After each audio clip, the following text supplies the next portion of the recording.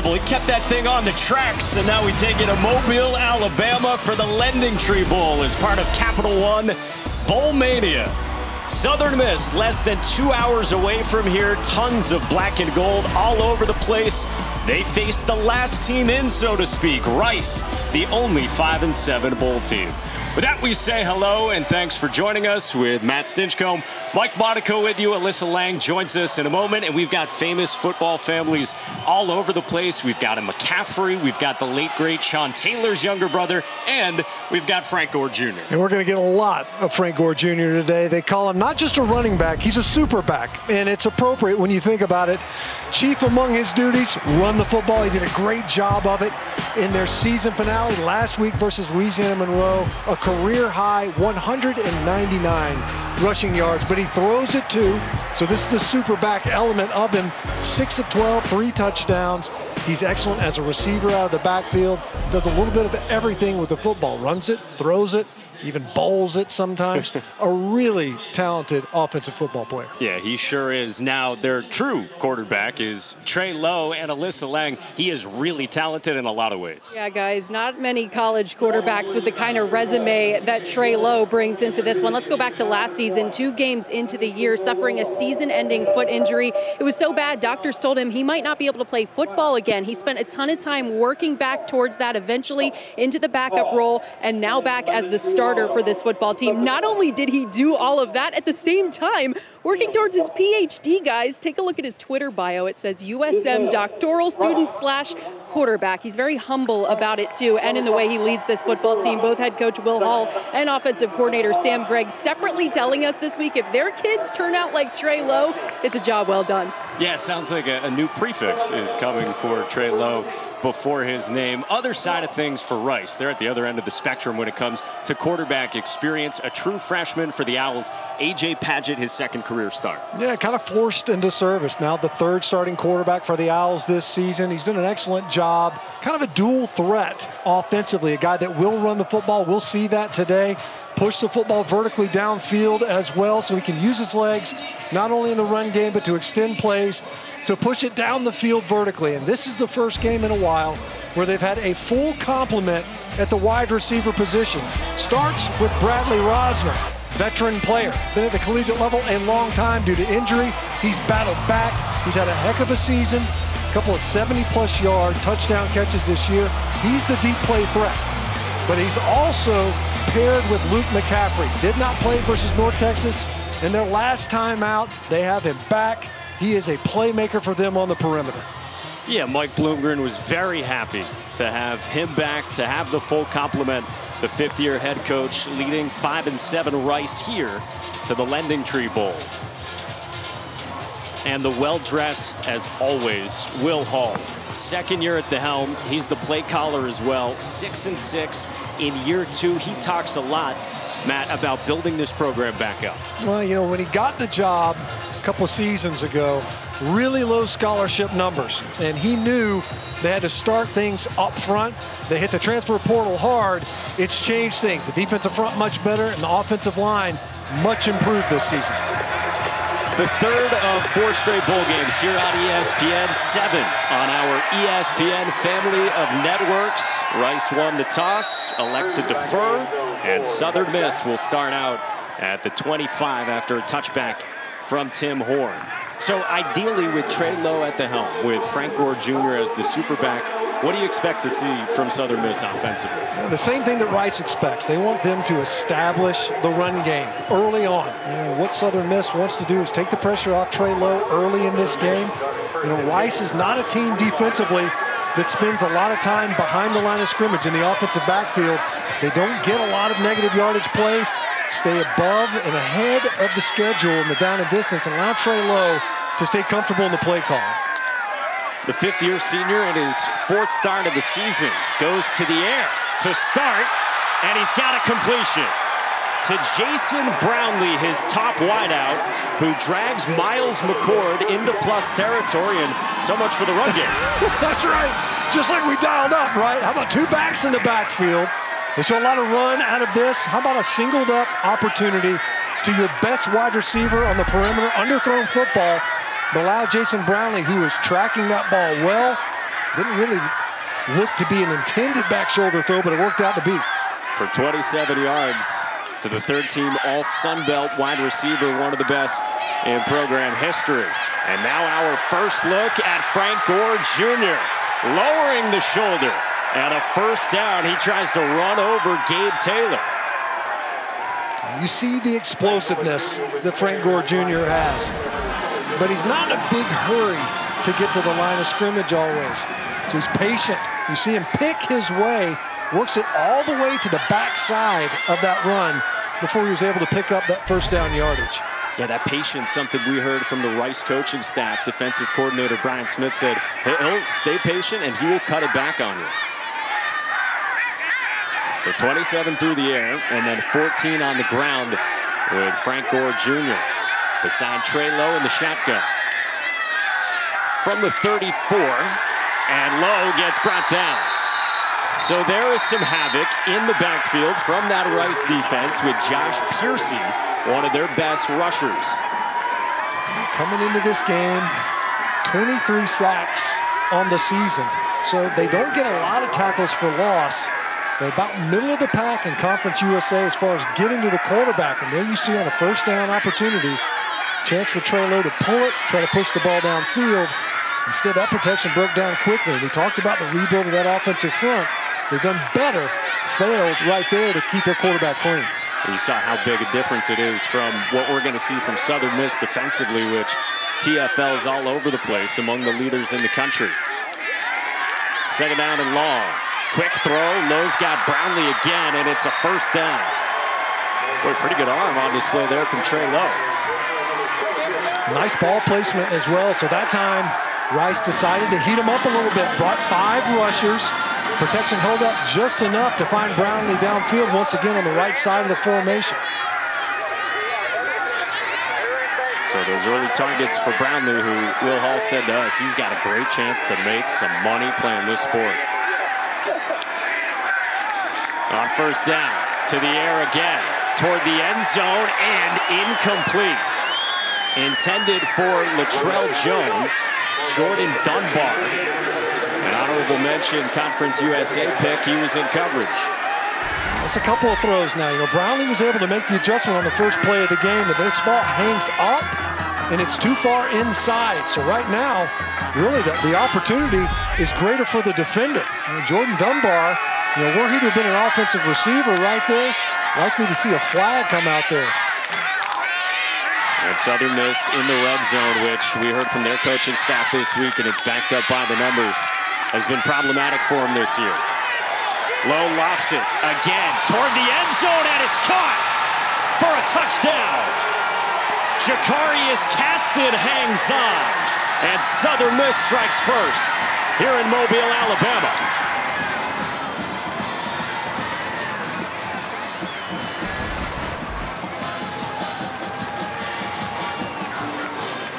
How's that for confidence in your quarterback? Go right back to it. You see he's able to got away with a push off, and that's exactly what the defense was saying. Gabriel Taylor saying, hey, wait a minute. Got a little separation there late because he shoved me. Regardless, he was on the board. Briggs Bourgeois with the point after and a 7-0 start paging Dr. Lowe. Welcome to the LendingTree Bowl, young man. In there, he's in the operating room. you think about it, that last throw prior to this attempt, scary throw, really more than anything else. His receiver had to turn into a defender.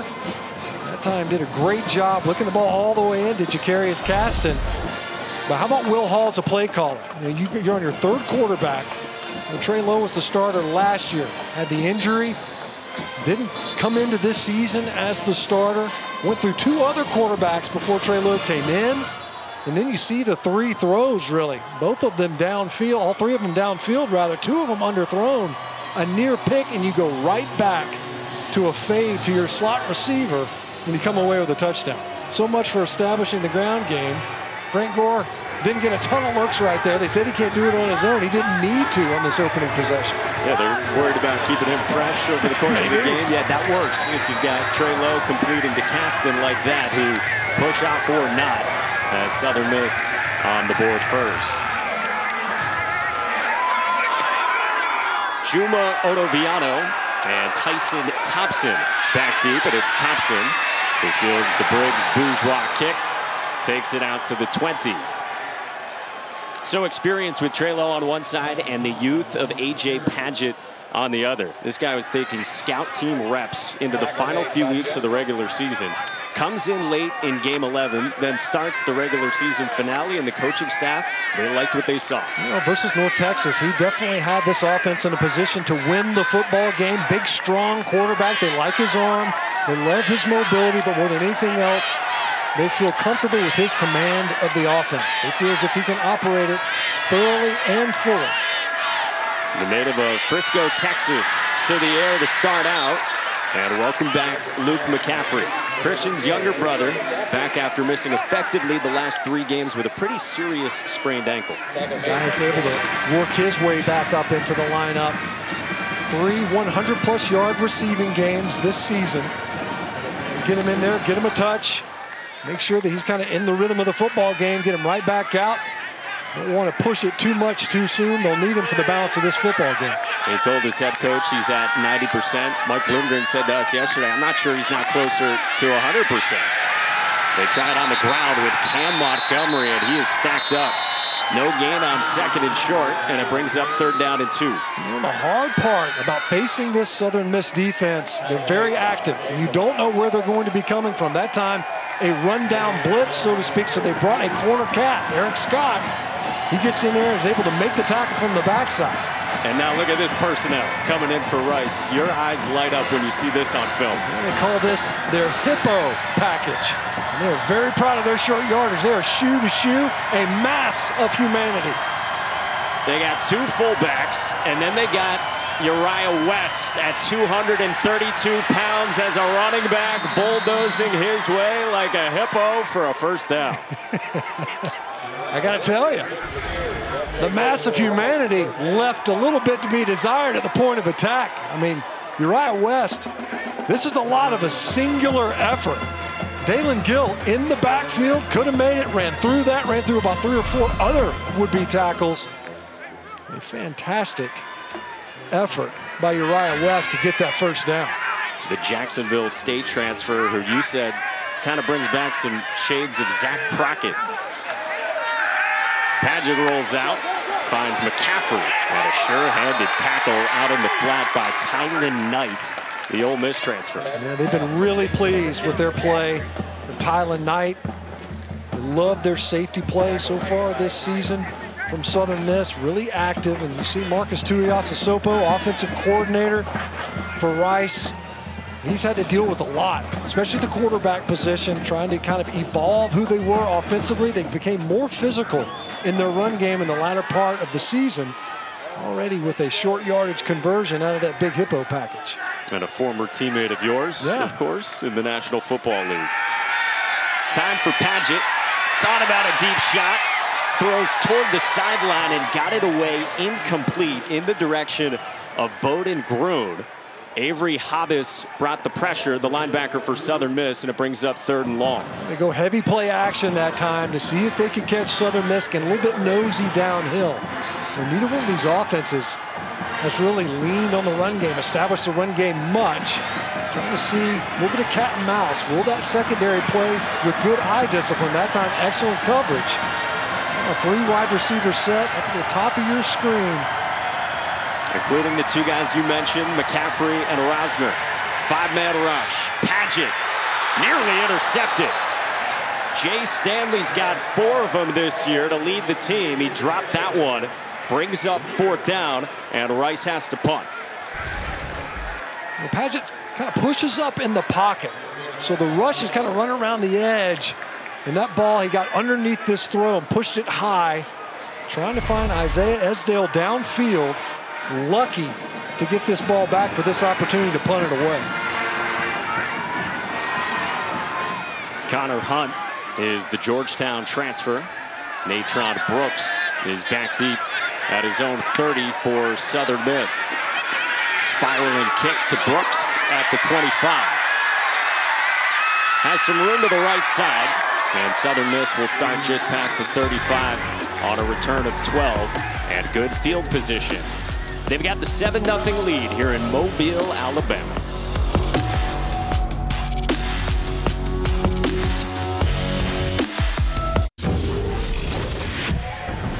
You're watching Capital One Bowl Mania.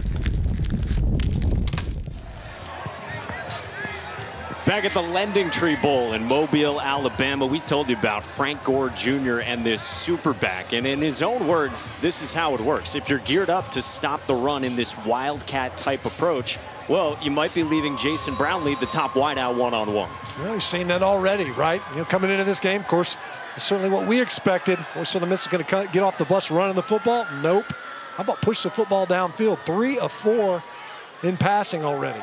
They start at their 37 and a jet sweep to Jakarius Caston, who had the touchdown grab, and he picks up nine yards before he's tackled by Chris Conte. Well, the real challenge, of course, will be when you start seeing the offense able to stretch the field sideline to sideline as well. We've already seen Golden Eagles push the ball downfield vertically in the passing game. We know that they can get downhill in the run game. Frank Gore Jr. with the limited touches hasn't needed to. You already see a fly sweep.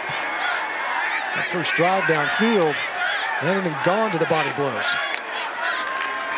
Now it's second down. Low. Spins toward the line to gain and appears to have enough for a first down. He has gotten healthier as this year has gone along. Alyssa told you in the open about that broken bone in his foot at the beginning of last season that kept him out. It's just taken a while to come back from.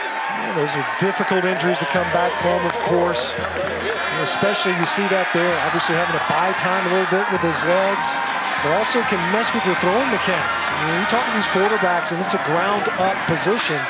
It starts with their feet. That injury can slow things down. He was just able to get healthy enough and just in time for Southern Miss when they needed him most. He started his career for a couple of years at West Virginia.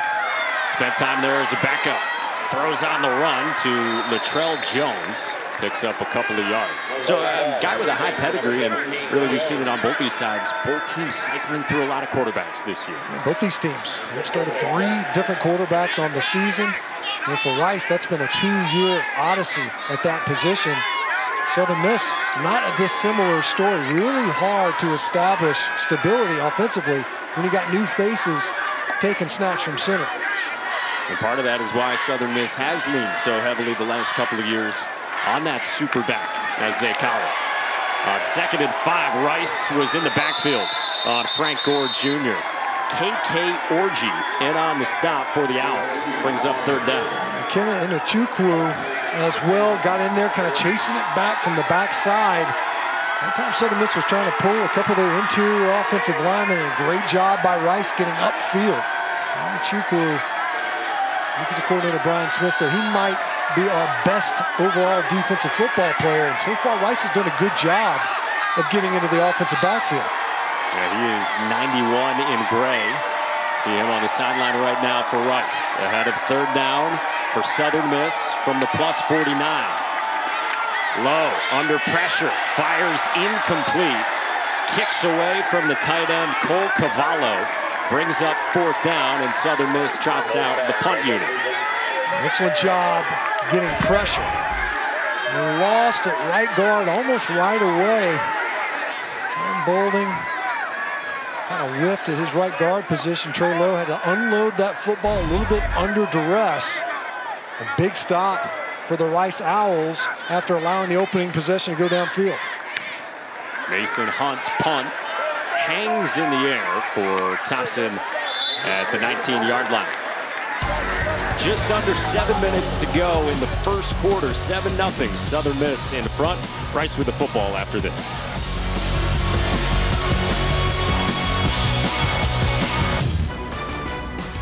The LendingTree Bowl is brought to you by LendingTree. With LendingTree, you win. Gotta love a bowl week.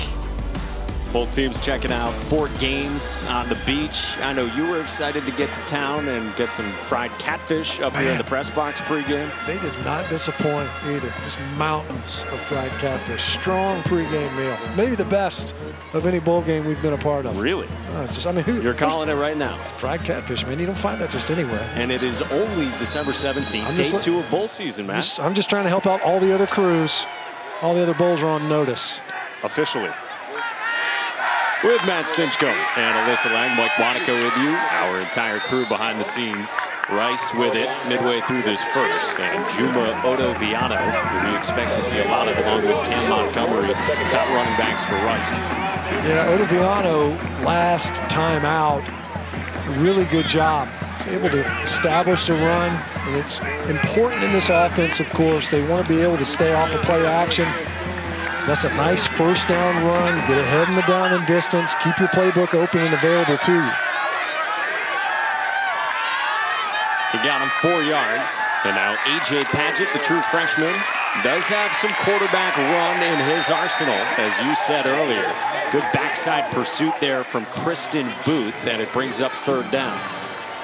Well, other running backs, meanwhile, for Rice, Ari Broussard, he's been dealing with a thumb slash hand injury for much of this season. They have 13 rushing touchdowns from running backs. He's got nine of them. He is available, but only in case of emergency today. Yeah, you think that especially because of the run element with A.J. Padgett, as you saw there, QB design run, unlikely to see Ari Broussard. See if Southern Miss dials up pressure this time on a third and medium. They bring four. It's McCaffrey again to move the sticks. Three targets, three catches, 10 yards to Luke McCaffrey, the former quarterback. That was a nice pickup that time by Otoviano. Running backs can be more than ball carriers. They have to be, and the reason McCaffrey was able to get that catch is because Padgett had time enough to throw. As you mentioned, they only brought four, but there was a second level blitzer Viano did a good job in pass protection. You see the production that they've gotten from Luke McCaffrey this season. Yeah, he has been clockwork with that, moving the sticks. And Rice very pleased to have him healthy coming off that sprained ankle.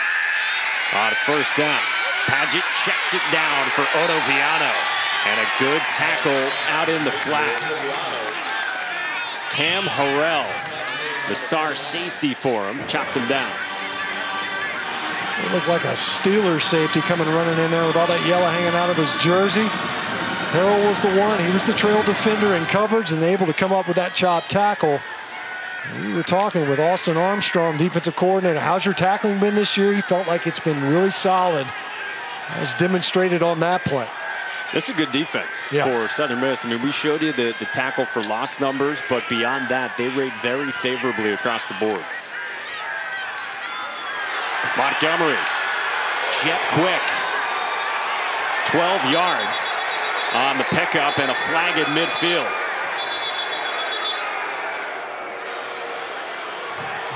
Might get a targeting penalty here. Of course, will be reviewed in the booth. It was Quentin Jackson on the carry seldom used running back who started out beside A.J. Padgett. And as the officials confer, we'll await the ruling. As they talk it through, it's a really well-blocked play up front. And talking with offensive coordinator Marcus Tuiasosopo, he likes their pin and pull schemes. Able to get downhill, and Malik Shorts came up, brought brought the lumber with him. Now the question is, is where did it land? Personal foul. Target. Defense, number nine. Using the crown of the helmet. This play is under further review. And Malik Shorts is a key guy on this Southern Miss defense we were just talking about. Third team Sun Belt. He's their leading tackler, the fifth year senior who has had a great season for him. Came into the game with 92 stops. And you know, there's a number of different indicators and here it's crown of the helmet, I think is going to be the most instructive as to whether or not this targeting penalty stands. You see him lower his head. We've talked about this a lot. Ever since this penalty's been introduced, it's not just to protect the ball carrier.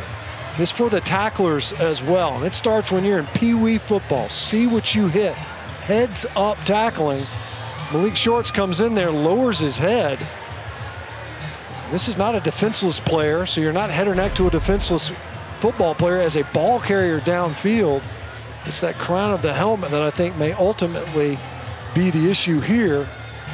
The officials throw the flag, then you're able to replay it, review it, make sure you get it right because this does disqualify Malik Shorts if it sticks from the rest of this contest. After further review, the defender did not use the crown of the helmet. Therefore, there is no foul for targeting. Wow. The result of the play is a first down. That's shocking to me because it sure looked like he lowered his head and hit him with the top of his helmet. Boy, and if you're Austin Armstrong, the defensive coordinator, Will Hall, the head coach, this is a major crisis averted. You're not kidding. You're talking about a guy who's really active, and we mentioned it. They've been so pleased with their safety play. I'm really surprised that that's not considered crown of the helmet. Regardless, Austin Armstrong, one of the youngest, I think the youngest, at the coordinator position in all of college football. 29 years old, spent some time at the University of Georgia.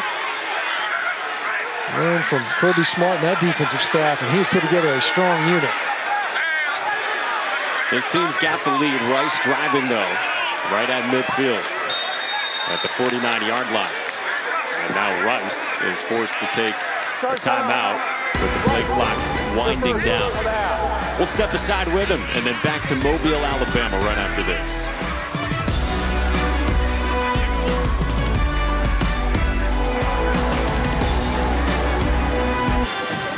LendingTree Bowl, first quarter, Southern Miss 7, Rice nothing. And hey, coming up tomorrow afternoon on ABC and the ESPN app, women's basketball rivalry game for you in a series that dates back to 1988. Number two, Stanford just one loss this year. Cameron Brink, Haley Jones and company against Tennessee at Maples Pavilion. Coverage starts 3 Eastern, noon Pacific. All right, so Malik Shorts stays in this game for a secondary that we told you. Austin Armstrong thinks they have as good safeties as anyone at their level in the country.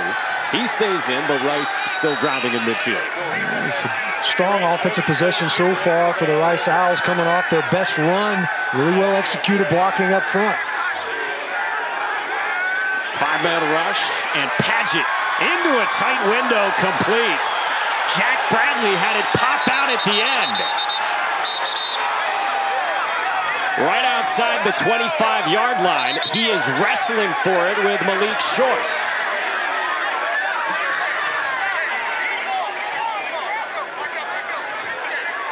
The question is, did he possess the football? Because there's no doubt that he lost possession of it at the end. And as you mentioned, it's Malik Shorts again. And waiting on a signal still from this officiating crew from the Mid-American Conference.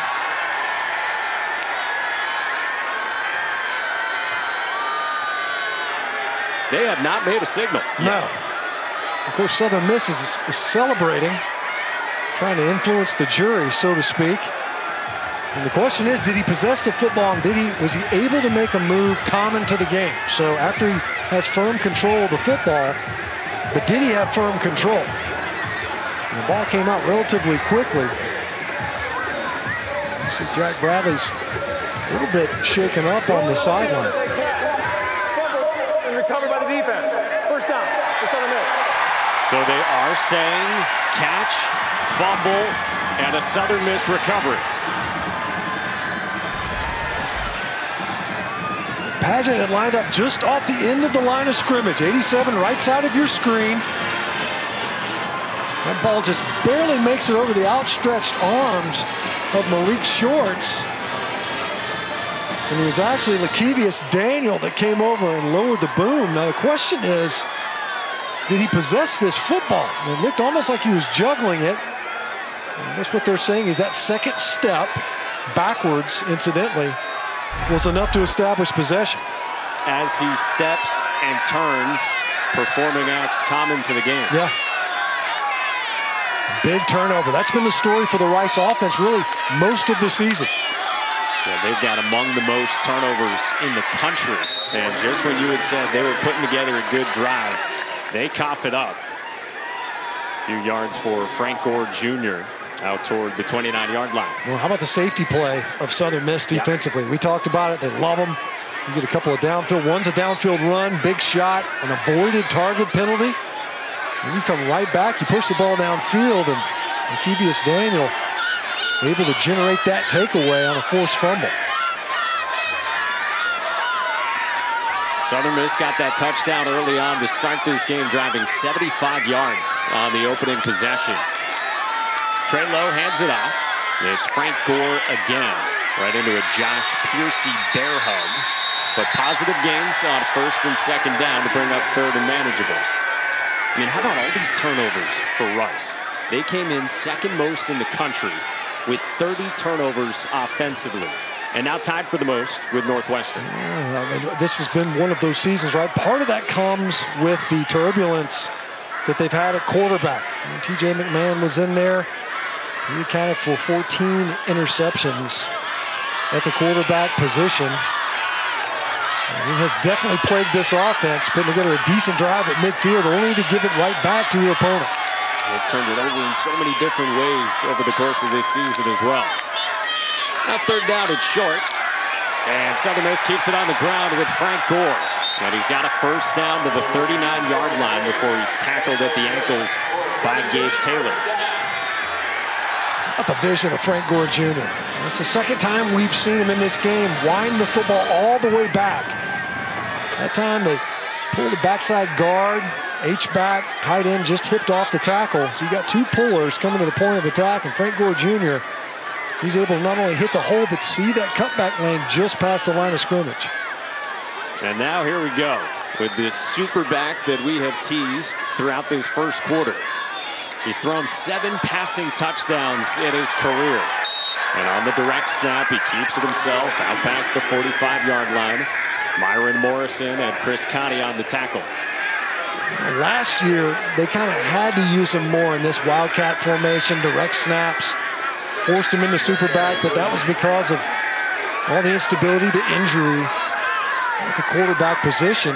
This year, although they've endured that, more than anything, they just discovered that Frank Gore Jr., guy played quarterback in high school, although he was almost entirely running the football at that level, he's more than capable of being a dual threat as well. on the ground on a keeper. First down, I mean, he looks the part, too. Like, he's going up behind the center. He's up near the line of scrimmage. He's pointing things out. He's got it all down, and, and he's been doing this for a few years. Yeah, I mean, when you think about what he was asked to do in the back end of last season, and then this season as they've kind of built on this package, you know, they're not going to spread you out, right? They're not going to go air raid with Frank Gore Jr. in their quarterback, but it's more than enough to keep a, a defense honest. And I love the, the fly sweep motion on that one. You fake it, you buy some eyes at the second level, and then you hit right downhill. Yeah, not bad with the career numbers. Gore wanted the deep shot. His man got hung up. There is a flag down as Gore throws it downfield and incomplete. George Nyakwal was in coverage on a pass intended for Antavius Willis they're going to get Nyakwal. There's actually another flag back at the line of scrimmage as well.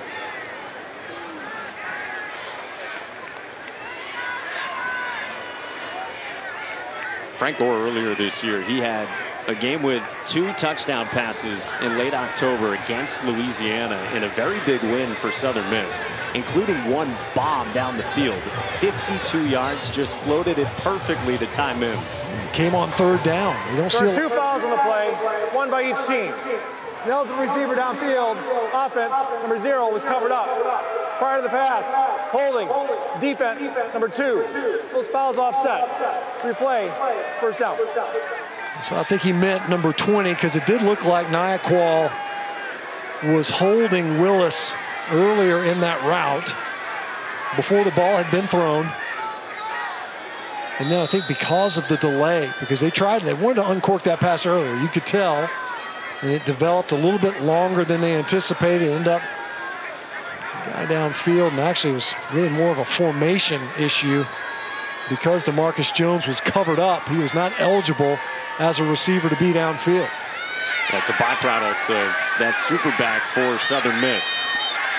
Trey Lowe's back in ahead of first down after the pair of penalties. And Antavius Willis with nowhere to go. He gets dragged back by Morrison and DeBraylon Carroll for a loss of one. So we thought it would be close. We thought it might be low scoring here in Mobile, Alabama at the LendingTree Bowl. And it is. Southern Miss with a 7-0 lead on Rice after one.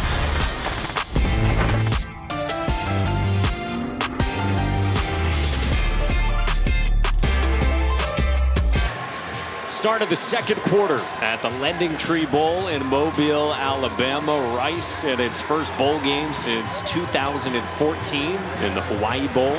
Southern Miss in search of a winning season for the first time since 2019. They lead 7-0 as we start this second right at midfield with second down and 11 for Trey Lowe and the Golden Eagles. Lowe Came out firing early back to the air here. Intended for Jason Brownlee. Incomplete. There is a flag on the far side of the field. Got another ineligible downfield. It was Paul Gaynor there at right tackle that kind of leaked downfield a little bit. And by a little bit, I mean five yards. Downfield. Offense, number 71. That penalty is declined. Third down. Which is too much. Yeah, it's too much. Can't be all the way down there. He was, uh, you know, the ball's a little bit out in front of Brownlee. He had him. Wouldn't have mattered, of course, with the penalty. Let's check in with Alyssa Lang. Miss on offense right now. You guys were just asking during the break about number 87 for Rice, the tight end, Jack Bradley. I'm watching him as he's walking into the locker room right now, pretty gingerly. I'll keep you updated on that. He took a big hit right there to kind of his lower back when that ball came out. It was the fumble for Rice and another turnover. Now on third down, it's incomplete.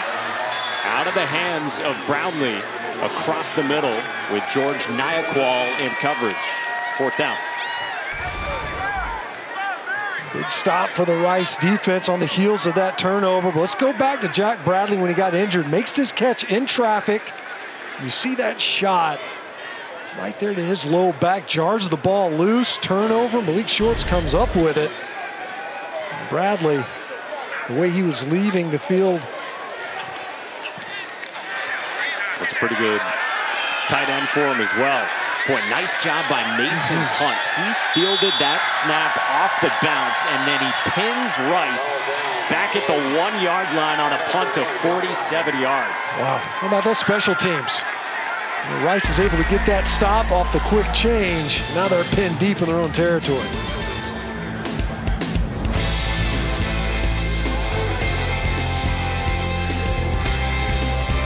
Back in Mobile, Alabama. Long field in front of Rice. And if they're going to go 99 yards, they need their top two wideouts. We've seen Luke McCaffrey already. We've not even seen a target, though, for Bradley Rosner, the seventh-year senior. No, they really haven't looked his way yet. Think about last week. We'll put together another nice performance. You see the receptions and the yardage. You know, 41, 13 fewer catches than McCaffrey his counterpart, the nine touchdowns, 834 yards for Rosner. But they're not going to air it out here when you're coming off your own goal line. Rice calls this mammoth personnel, and there was pre-snap movement before the snap. So six inches, perhaps? Yeah, not the most costly penalty in the world. False start. Offense. Number 78. First down. It was Trey Filippi that comes in there, the extra offensive lineman. The mammoth personnel, as you mentioned, and for those scoring at home, that that person lined up behind the quarterback and in front of the tailback is called a fullback. Huh. Yeah, we used to have those in football. Imagine that. Backed up right near the goal line. Uriah West plunges for maybe a yard, and that feels like a lot for the Owls. You see Southern Miss geared up, and what they're able to do is they're collapsing from the edges. So you might win at the point, but they're running around the perimeter of the line of scrimmage. So that time it was Jay Jones that kind of sliced around the edge. We've seen this a couple of times in this game where Southern Miss is able to get their perimeter defenders to get behind the line of scrimmage almost immediately and tackle from behind, get around and along the legs of the ball carrier. And you see the defensive line for Southern Miss, their eyes light up ahead of plays like these. This mammoth personnel again, and Padgett keeps it and rolls out with running room. And A.J. Padgett, enough for a first down, dragged down by Avery Hobbs. And how about the confidence there in your true freshman quarterback? Yeah, so you fake the blast play. Your right guard pulls, right guard popping out, really just ends up setting up the pass. And this whole thing is to see if you can't get that defense to bait up into the interior portion of your offensive line and then have your quarterback naked right out. Talk about A.J. Padgett hasn't been very effective with his legs, but was huge there. An enormous first down from a field position standpoint. And now you can actually run some offensive plays versus just buying room. And they've been driving it last time on their previous possession before the Bradley fumble. Cam Montgomery, the speedy running back, doesn't get anything. Dalen Gill, the middle linebacker, and on the tackle. Great job, too, by Brodarius Lewis as well, just holding the point, shedding a block. Gill able to get downhill. He is a leader on that defensive side of the ball. And Austin Armstrong, couldn't say enough about him. He's been really pleased, really, with his linebacker play in general. They're going to need to reload there a season from now. Gill, a senior, veteran presence. Yeah, they dealt with a couple of injuries to that position over the course of the season, going back to the preseason in the summer. Padgett was probing for space, and he is blasted backwards. Third down and long coming up. They should have been able to get a clean box. There's only five defenders near the line of scrimmage here. This is a design QB draw all the way. And you see Gill. Gill was really unaccounted for. They had enough blockers, but nobody climbed up to cover him up. And so you could see as A.J. Padgett was trying to tuck and run, he sees Gill, sees color in the hole. He stops his feet. By then on a QB draw, you've lost the element of surprise. Jaleel Clemens was in there as well for Southern Miss defensively. Third down and long for the Owls.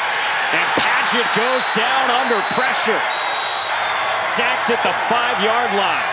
Jay Stanley and Dalen Gill brought the heat. It's a loss of five and brings up fourth down.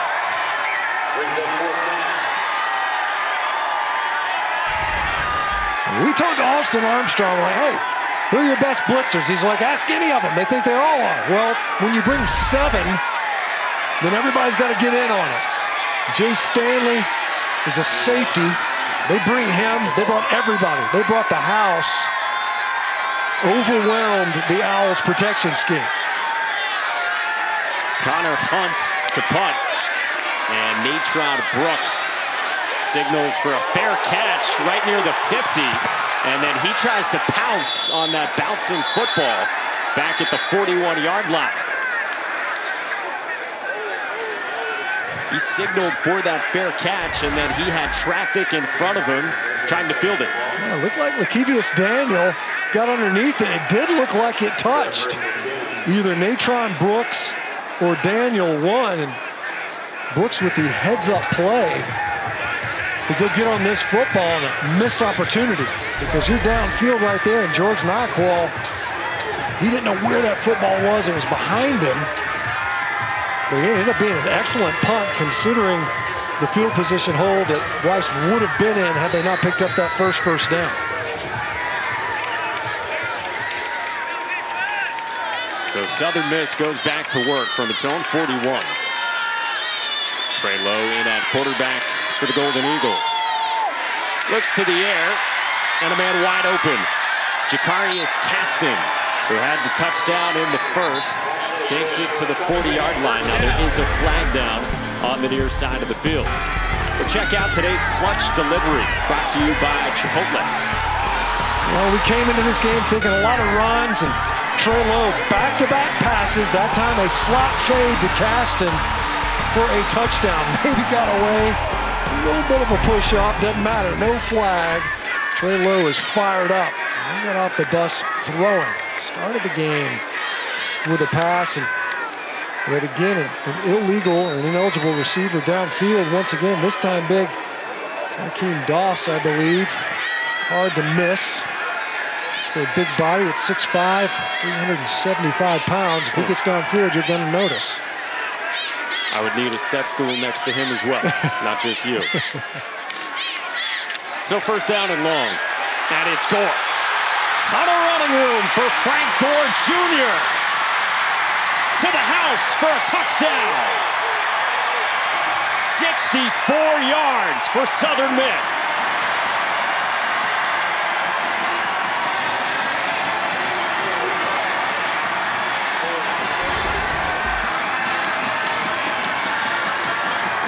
Just get downhill right now. Great job pulling around that time, get covered up at the second level. Chris Conti got picked up, and Frank Gore Jr. just burst through that hole. We talked about his vision, his patience, none needed on that one. Go bang your head on the goalpost. Untouched, and it sends Frank Gore Jr. dancing. And Southern Miss to a 14-0 lead. Will Hall is head coach. He said to us this week, to whom much is given, much is required with the name Frank Gore.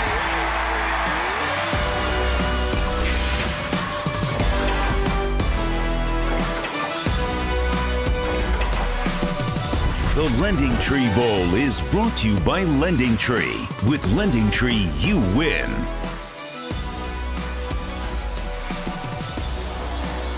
Some pro Owls, including Chris Boswell, for a Rice program that from 1962 to 2005, they didn't go to a single bowl game.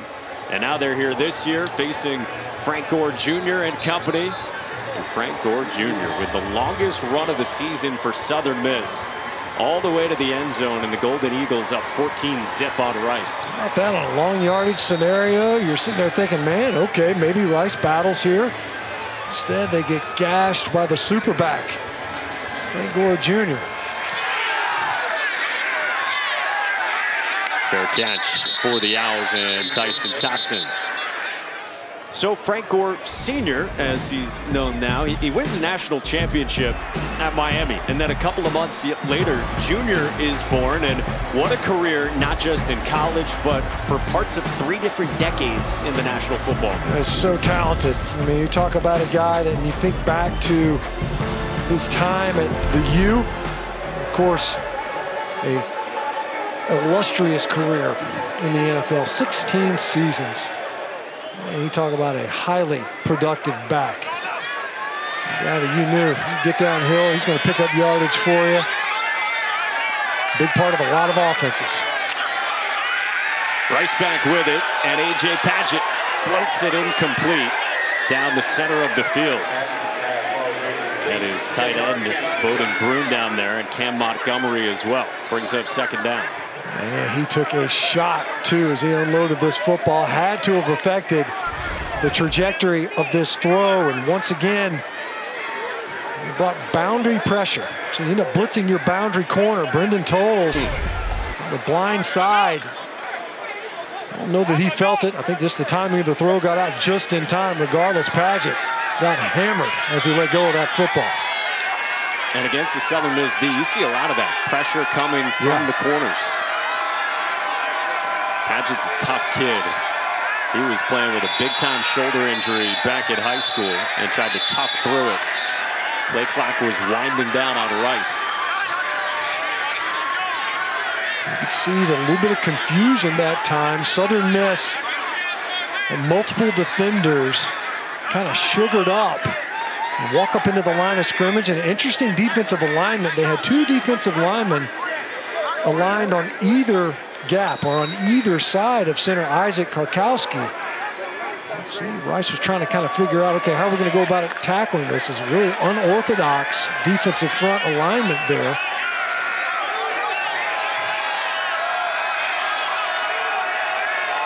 Now empty backfield ahead of second down at 15.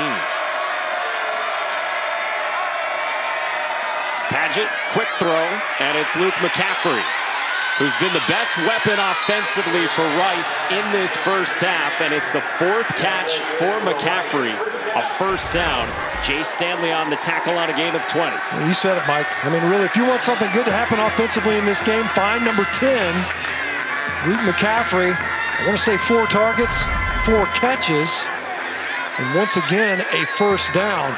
The coaches were ecstatic that he was going to be available in this game. You can see why He's been more than a security blanket in this offense. He's been the engine. I'm a bit surprised they didn't get a face mask penalty at the end of that one. Now on first down, it's a jet sweep to Braylon Walker. Talented true freshman who came on in the regular season finale. Goes 19 yards in the plus territory, and that'll do for the Owls.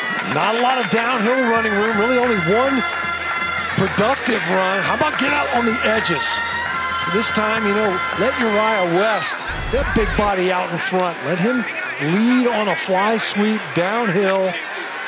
Get a body on a body on the perimeter, and now you've got Southern Miss defensively defending sideline to sideline. See, all that production for Braylon Walker came in that finale when he announced himself on the collegiate scene. Quentin Jackson and his first collegiate action on the throwback from Padgett. And he runs it down toward the 20-yard line. Bumped out of bounds by Santrell Latham after 20 yards. How about this? You kind of fake the boot.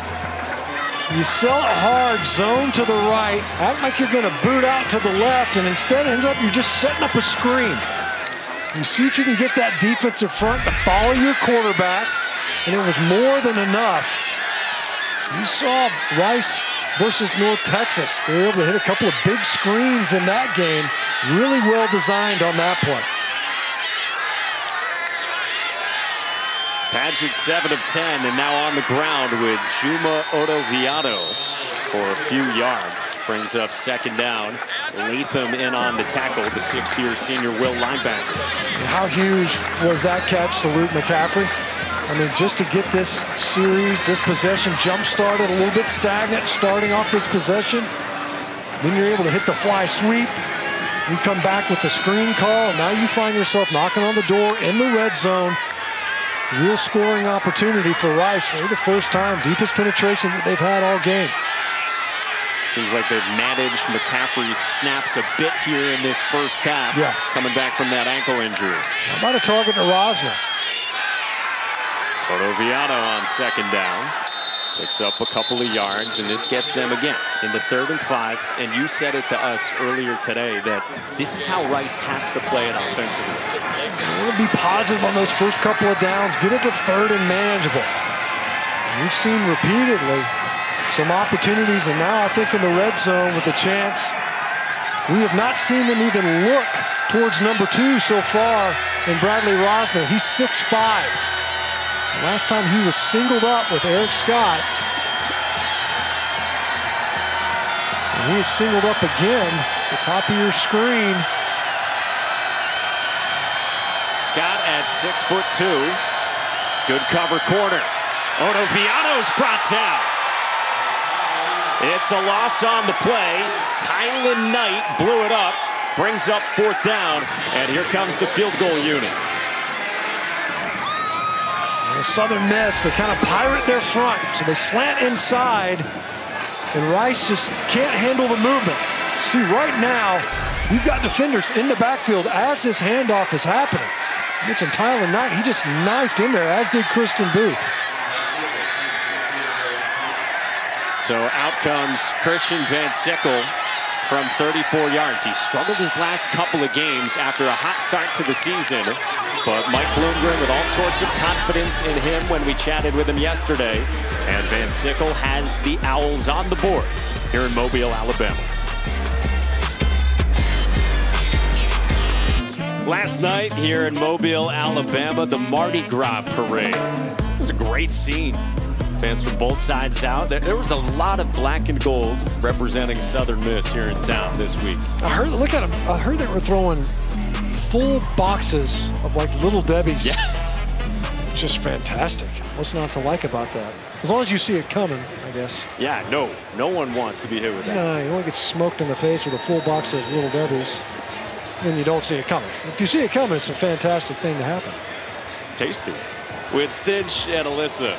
Mike Monaco with you upstairs.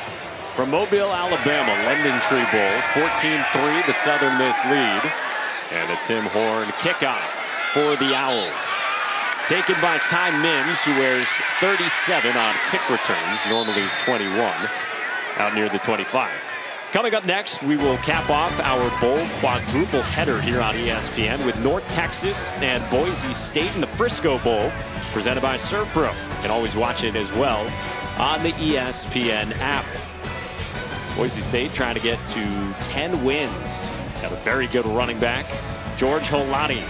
More than 1,100 yards this season going up against North Texas, who beat Rice in the regular season finale. Yeah, narrowly beating Rice at that. You know, Rice had an opportunity inside the five-yard line. They end up kicking a field goal. Would have been the tying points and a late substitution for Rice along their front.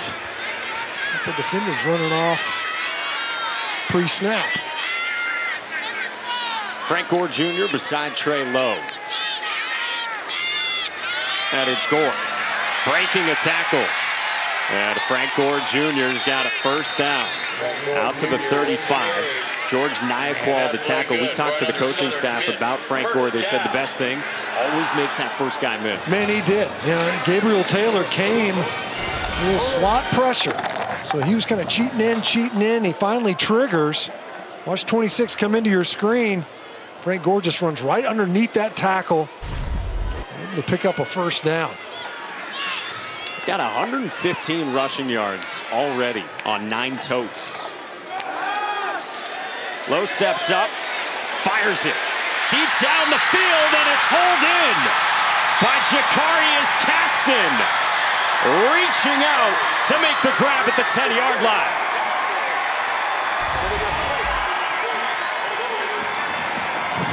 What a great catch by Caston. How about this ball from Trey Lowe? So Rice ends up bringing five. Nice protection, cleaning up pocket, step into this throw. Hits Caston in stride, a fingertips catch. You can see he's matched up with Chamberlain there in the slot. It's a matchup you have to love. And Caston having a career day. 55 yards for Caston who was huge in the big win Southern Miss had over Tulane. Out of the super back. They flip it right back to him, and Caston nowhere to go. Stretched out wide by Rice defensively. Big plays, killing the Rice defense. Think about the big run on a first and 15 by Frank Gore Jr. And then, of course, this big hitter from Trey Lowe downfield. And Caston, obviously with that first score of the game, the trust that Will Hall has shown in Trey Lowe in this game as a passer. Of course, he always can go back to old trusty and Frank Gore Jr. if he needs a direct snap and pick up yards. Right now is beside Lowe, the fifth-year senior working on his doctorate, as Alyssa Lang told you right before kickoff. Lowe's been in a rhythm to the end zone, and that is incomplete intended for Latrell Jones. Gabe Taylor and Jordan Dunbar were there at coverage for the Owls. A lot of Southern Miss fans here. They feel like Dunbar was early. Might have been. Mm. Might have gotten there a little bit early. I'd say a couple of calls have broken Golden Eagles' way so far, and given the field position, Still an excellent opportunity for them to get points here.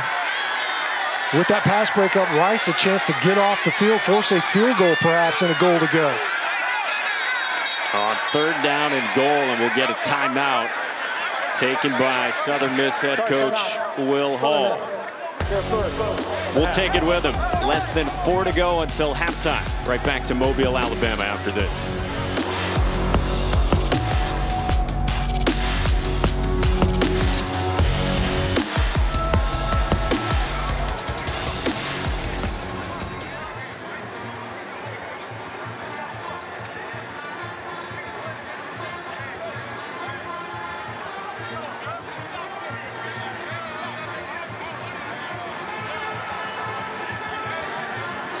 11. They've got third down and goal coming up from about the 10-yard line. And Matt Stinchcomb, they've had very good balance offensively.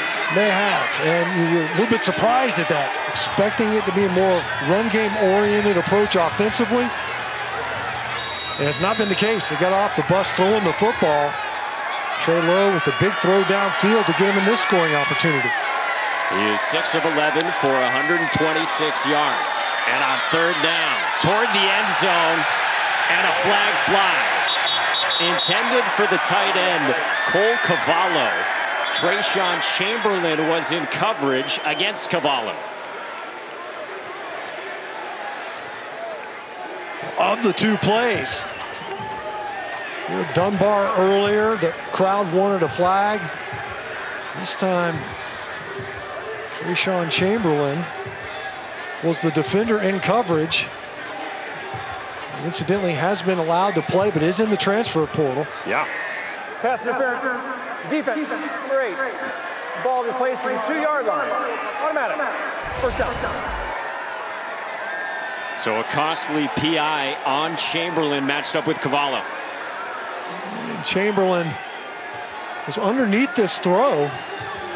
Uh, left arm, Unless maybe? it was that left arm. You could see right away asking for the PI was Cole Cavallo. Of those two plays, like I said, I would have thought it'd been the other way. Instead, a fresh set of downs. Instead of that goal to go scenario. And now out of the super back for Frank Gore Jr., who hands it off to Janari Dean, and he is stacked up by the Rice middle linebacker, Chris Conti, the Rutgers transfer. And boy, the Owls would love a stop here at the goal line. Well, you could see the Owls defensively, they had all three offensive linemen, the interior offensive linemen, guard, center guard, covered up with those big defensive bodies. Chris Conti was untouched, just kind of waiting in the hole. Did a good job of stacking up Janari Dean. Leading tackler for this Rice defense. This is a gut check for this Rice defense to try to keep Southern Miss out of the end zone here. Dean again, powering up the middle, looking for a push from Gore, and they will spot him shy of the goal line, and it brings up third down and goal. So it's not Gore running it himself. They're handing it off to Janari Dean.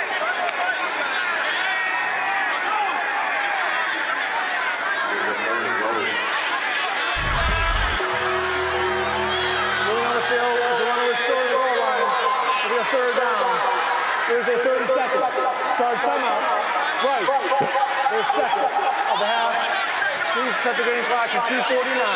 249.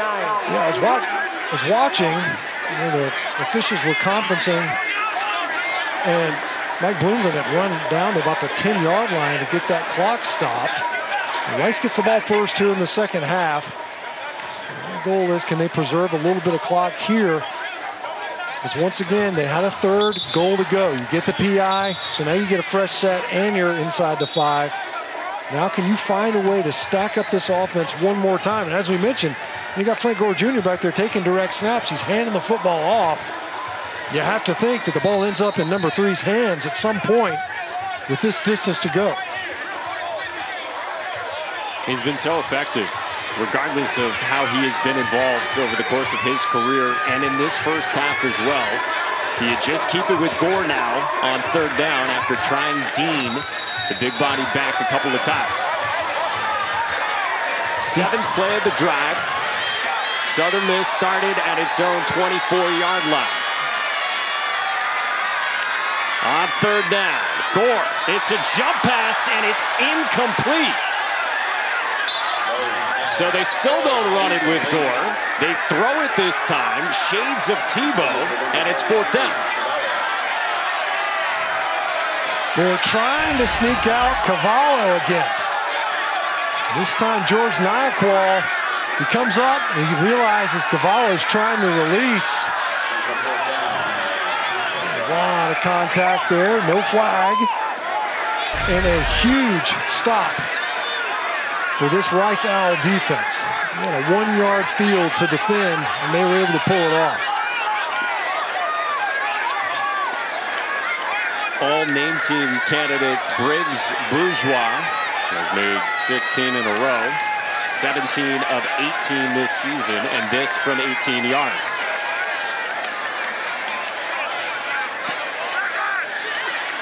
Jake Lang is his holder, and Bourgeois is good from inside of 20. 17-3 the lead. Let's check in with the always Herculean Matt Barrie in the studio.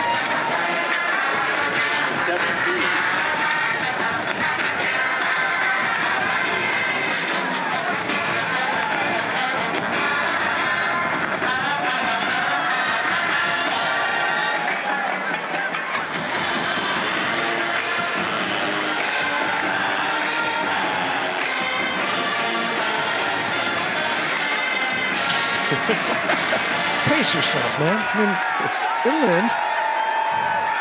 Give, these kids some time. They've, they've worked hard to get to the bowl season. Maddie's so eager to cover all these other games. How about that stop by the Rice Owl defense, right? You get two different opportunities on a third down goal to go.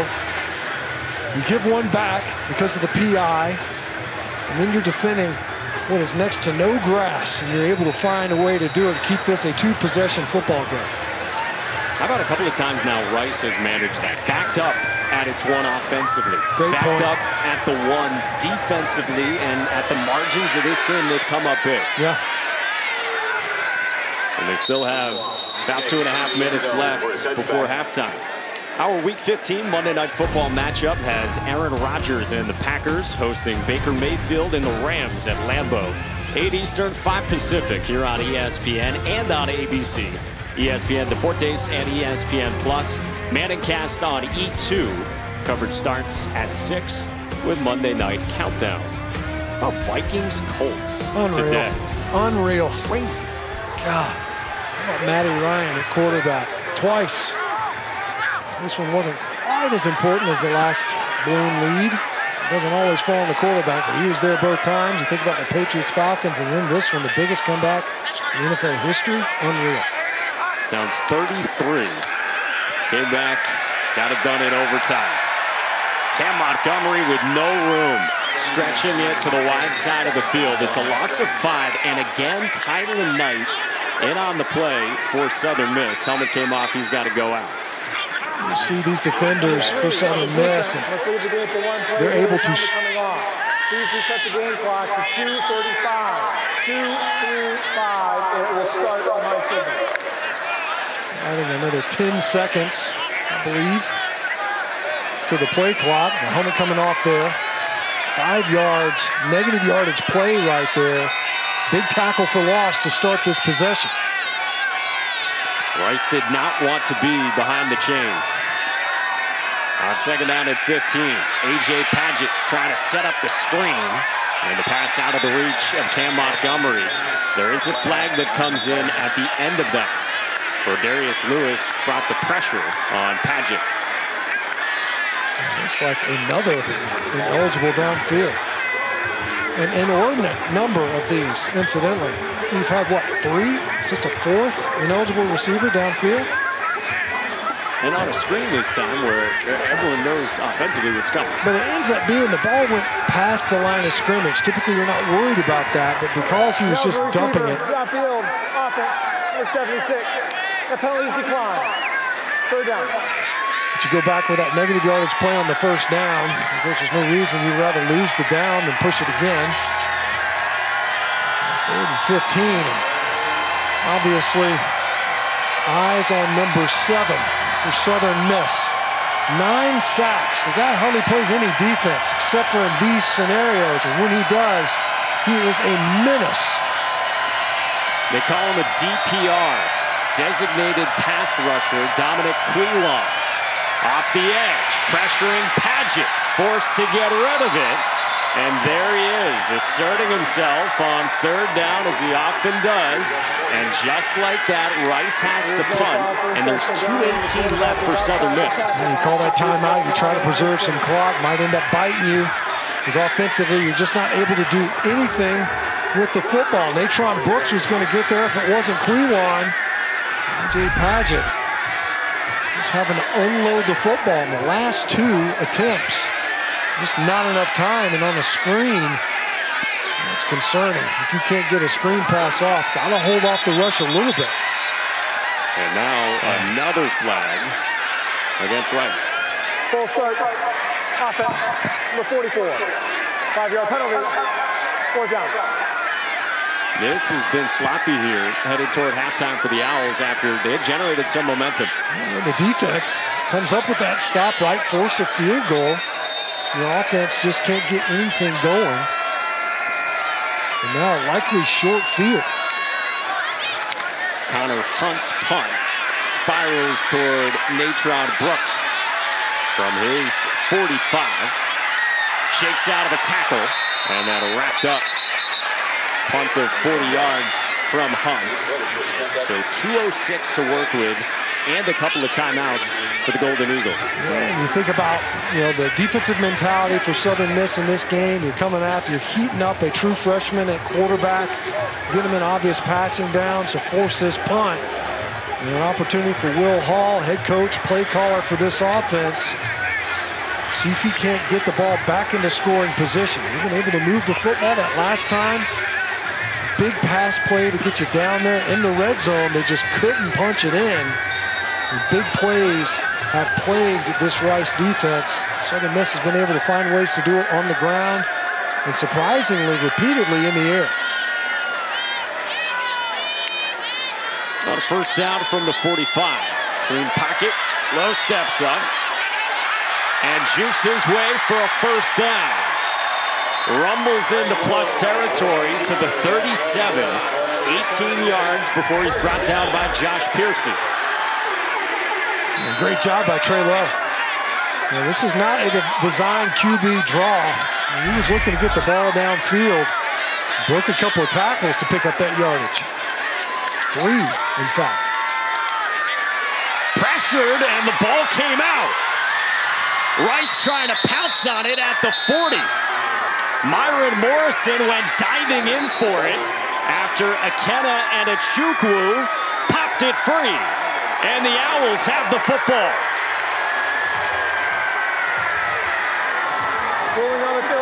We talked about Achukwu. Not a ton of sacks, but he came in with 29 QB pressures. But you come around the edge and tomahawk this ball out. Now, Southern Miss is saying, oh, it's a forward pass. His arm was moving forward. The ball ends up moving forward, but it's throwing an empty hand. And when they look at these plays, the officials look and see when, that, when his hand starts to move forward as the passer, does he have the ball anymore? Trey Lowe, when he started that motion going forward, his hand was empty.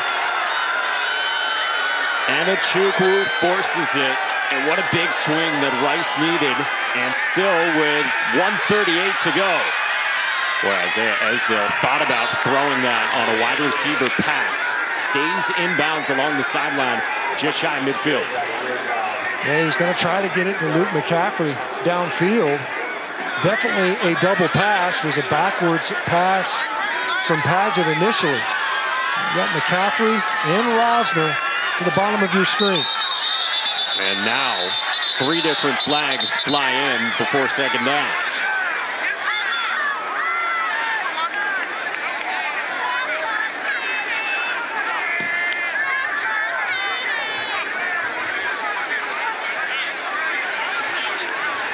Illegal snap.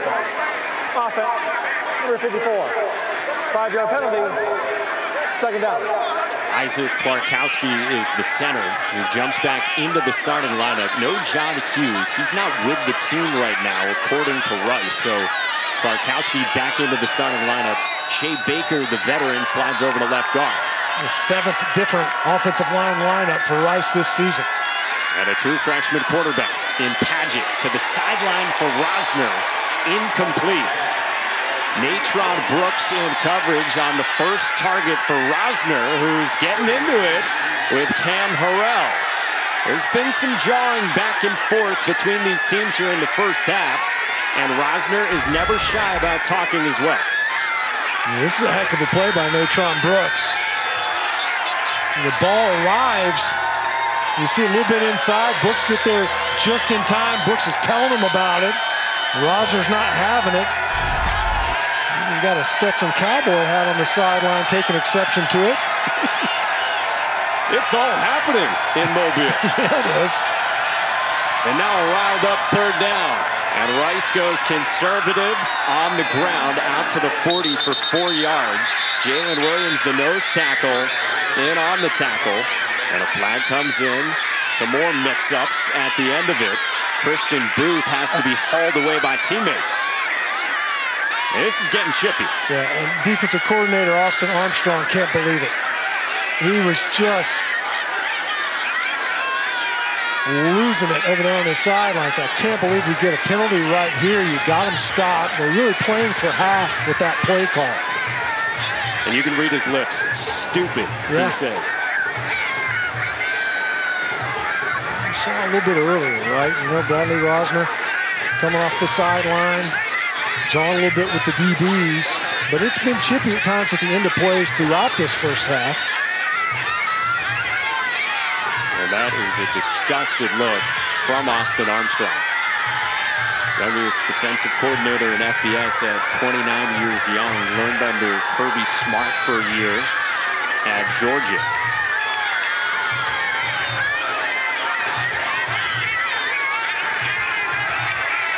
We have had a lot to sort through yeah, in this first half. Yeah, we had targeting that perhaps not all announcers agreed with the verdict of.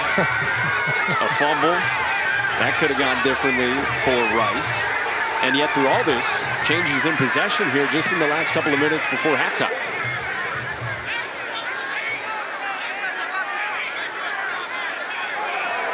After the play, personal foul, unnecessary roughness, offense, number 58. That 15-yard penalty is enforced at the dead ball spot.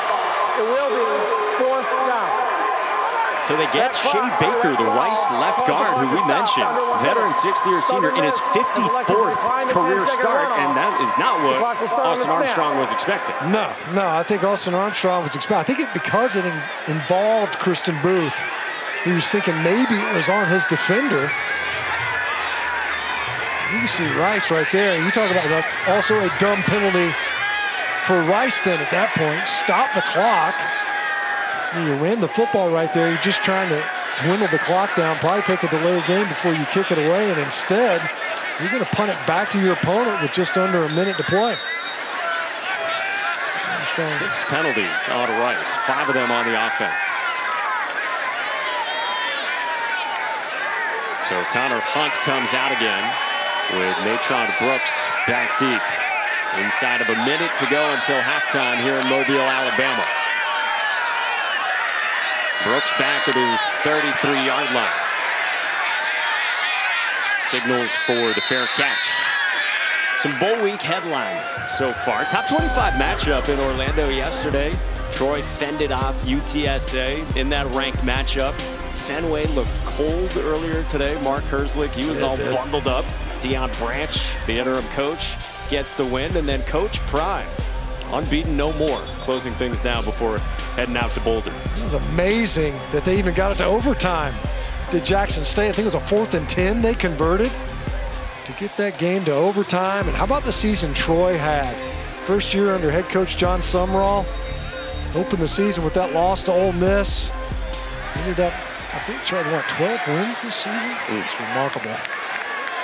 Interim coaches coming up with wins. UAB did it with Bryant Vincent, of course, in that situation with a win yesterday in the Bahamas.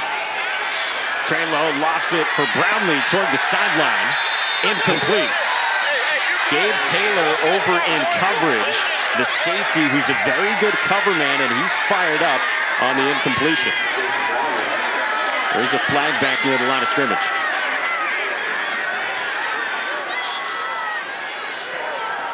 Holding. Offense. Number 51. 10-yard penalty. Repeat. First down. You see Gabriel Taylor even after that play talking to the back judge. He's probably arguing, hey man, offensive PI, I had a shot at that football. Brownlee's over here pulling me away from it. That's a couple of times where Gabriel Taylor's been tangled up with a receiver for Southern Miss. One went for a touchdown. Regardless, the holding penalty, pushing the Golden Eagles further back. Sean Taylor's younger brother in the Rice secondary. Janari Dean on the ground out past the 35, close to the original line of scrimmage.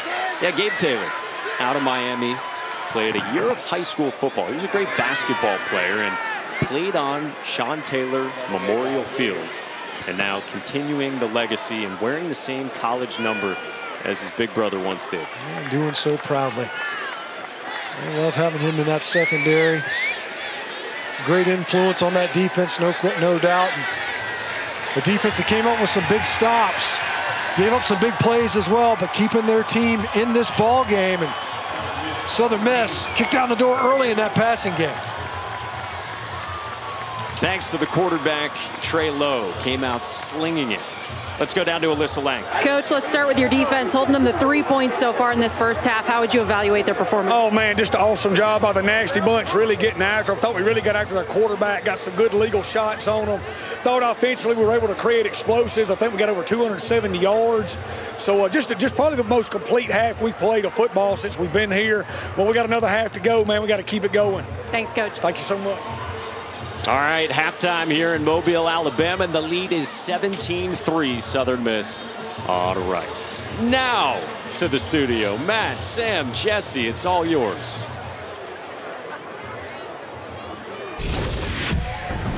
Welcome back to Capital One Bowl Mania.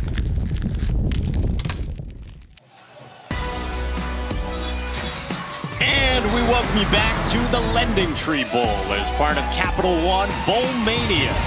Here on day two of bowl season, Mobile, Alabama. Southern Miss has the lead on Rice after an eventful first half. We welcome you back to Mobile. Matt Stinchcomb, a vertically challenged Mike Monaco with you. Alyssa Lang with us in a moment. And Stinch, first half, what'd you make of it there in Southern Miss, the way they built the lead? You know, right out of the gate, throwing the football, pushing the ball downfield vertically. And of course, we thought it would be Jason Brownlee, and it was on the first play of the game. But really, it's been Jakarius Caston got the Golden Eagles into the end zone for the first time in this ball game. And then, of course, Gore Jr. was able to rip off a nice run, but Caston was able to get them downfield once again in the vertical passing game. And there's the super back. Frank Gore Jr., a couple of attempted passes. One of those ended up being wiped off the record books because of penalty and an attempted pass there right on the doorstep of the goal line. You see the rushing yards for Southern Miss. A lot of those on that one big run by Frank Gore Jr. Passing yards and the explosive plays more than anything else for the Golden Eagle offense in the first half. That was kind of the story. You know, Rice defensively able to come up with a couple of big stops, really, especially in that low red zone. Third and goal to go to force the field goal attempt. And so we start the third quarter with Rice fielding it. And Tyson Thompson takes it out to the 20.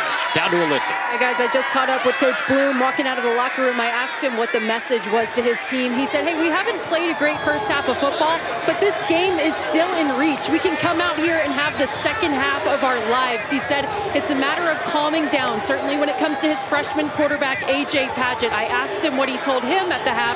He said, remember the play call, calm yourself down, things that you would expect from a freshman QB on this stage, but they very much are motivated and still believe they can come back and win this thing. He said it's just one play away. Yeah, game of their lives. That's what they're hoping for, for a program that is the only 5 and 7 squad in a bowl game. And Rice in its first bowl game since 2014. On the ground with Cam Montgomery to start. What did you think of Padgett? You heard Alyssa mention maybe some nerves, remembering the play call. How would you assess career star number two? Yeah, he looked a little bit rattled, especially in the latter part of that first half. You know, and I, don't know that they haven't really been able to get him going in the run game. Uh, had a couple of that one QB draw where they had that dialed up. Was not well blocked up front. Really, more than anything, I think it's his teammates around him that need to step up. This is a true freshman, only making his second start versus a very aggressive and accomplished defense in Southern Miss. They got to make some plays at other positions. Padgett uh, across the middle. It's complete. Luke McCaffrey has been busy, and again, he's got a first down, eight yards. Five targets, five catches. And so when we talk about people stepping up, Luke McCaffrey's been able to do that. And incidentally, largely, when he ends up with the ball in his hands, it's for first downs. You think about that field goal drive. It was sparked by a big catch by Luke McCaffrey to convert the sticks. Nearly 50 yards in his first year as a wide receiver. Had been a quarterback here at Rice and at Nebraska beforehand. Another completion for Padgett. Throws it across the middle, out past the 40 to one of the tight ends, Boden Groen. Santrell Latham to tackle him. We're going to see a lot of Groon because remember, Jack Bradley got injured in the first half. Yeah, it's a great point. You know, a lot of times Rice wants to use two tight ends in their personnel grouping. Haven't seen that really since Jack Bradley left the ball game. Had the catch, got a low hit, clean but low hit. Pretty violent one at that, caused a fumble, and because of that, I think that has shifted some of Rice's personnel groupings. They've had to get away from their two tight end looks. Love to be heavy and pro style with it. Montgomery on the ground. He goes twirling out past the 45 yard line positive gain on first down with Montgomery, the sixth-year senior and one of the veterans on this Rice team that they've been through it all over the five years that Mike Bloomgren's been at the helm. And he talked about the importance of this second half with Alyssa. They want to leave here with a win. Yep, and they got to get going on the ground more than anything else. We talk about A.J. Padgett, how he might have looked a little bit rattled. Part of that was because they couldn't get the ground game going. Really one big run, and that was from Quenton Jackson. Yeah, it's Jackson in his first game and a wide receiver who had their big runs.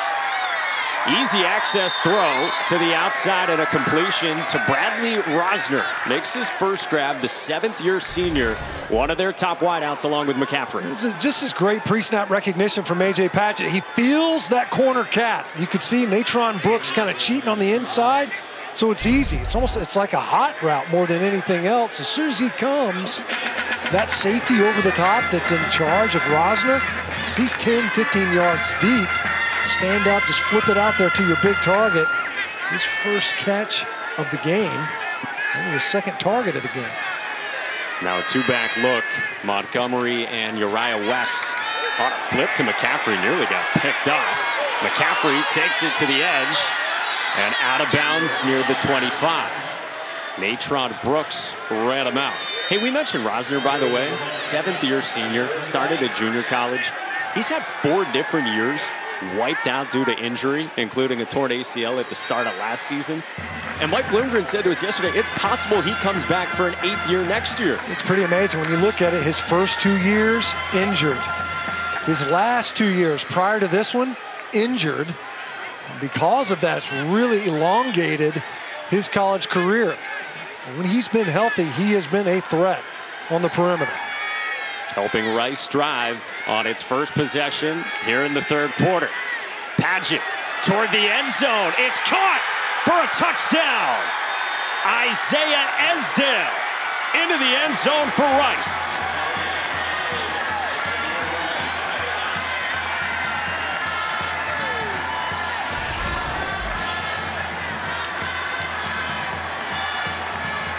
They said it's just a play away until you're back into this ball game. Well, it took a few more, but not many. How about the big plays downfield? Isaiah Esdale, he was targeted in the first half, was nearly picked off. The ball was poorly thrown that time on the mark. And Esdale finding himself in the end zone. The Owls on the board with the six. Isaiah Esdale, sixth year senior, spent the last four years at West Virginia. He's a warrior. He's been battling through a hand injury, and they have wanted to get him his first touchdown, and he's got it. His first one in a Rice uniform.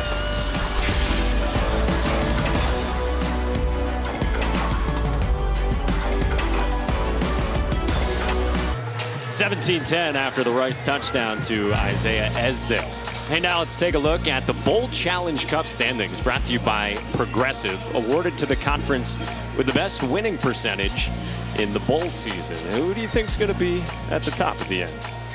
You know, whoever can retain their roster the longest. Yeah. I mean, it's, it's always been a season unto itself, bowl season, but never more so than it is now. I mean, quite literally, the teams that are taking the field oftentimes are not the team that you saw during the regular season.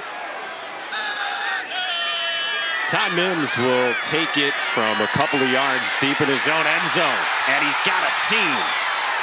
Sprints out near the 35, and the kicker, Tim Horn, makes the tackle on Ty Mims. So good starting field position for Southern Miss. Well, Mims an opportunity to fair catch this thing, didn't, brings it out. Ends up getting upfield quickly and was able to pick up a few more yards than he otherwise would have had he caught that, fair catch that, and get the touchback yardage. Regardless, you look at the Golden Eagles' opportunity to answer right here in what is now a one-possession football game. Frank Gore Jr. on the ground. He had 115 rushing yards on nine carries in that first half. You said he threw a couple of passes as well.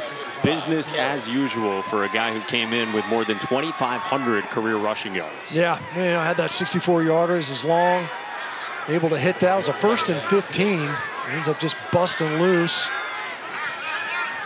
Did not have as much success as a passer. Sounds like an odd thing to say about a running back, but he's not. He is a super back.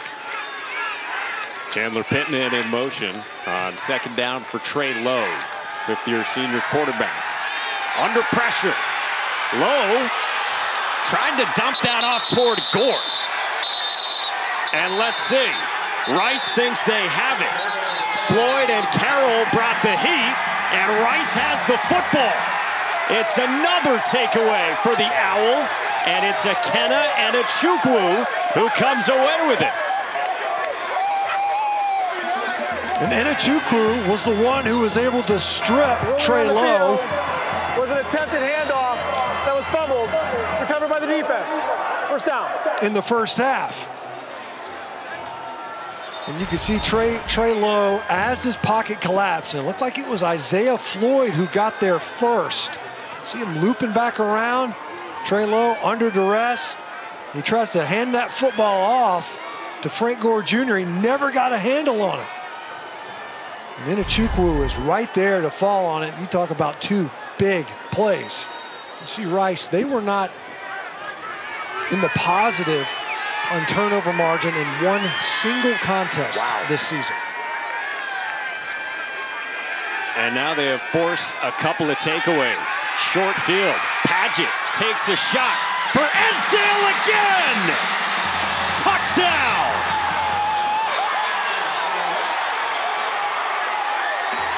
How about the sudden change here in Mobile?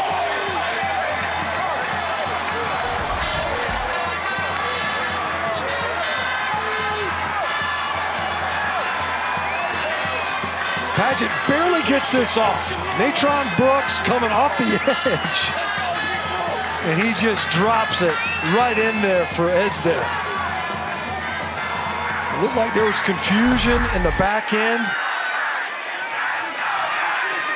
Esdale able to find himself loose again. Point after is good. And how about the Rice Owls here in the second half? Last two passes for A.J. Padgett, 26 and 32 yards. The word we kept hearing yesterday, poise from the freshman.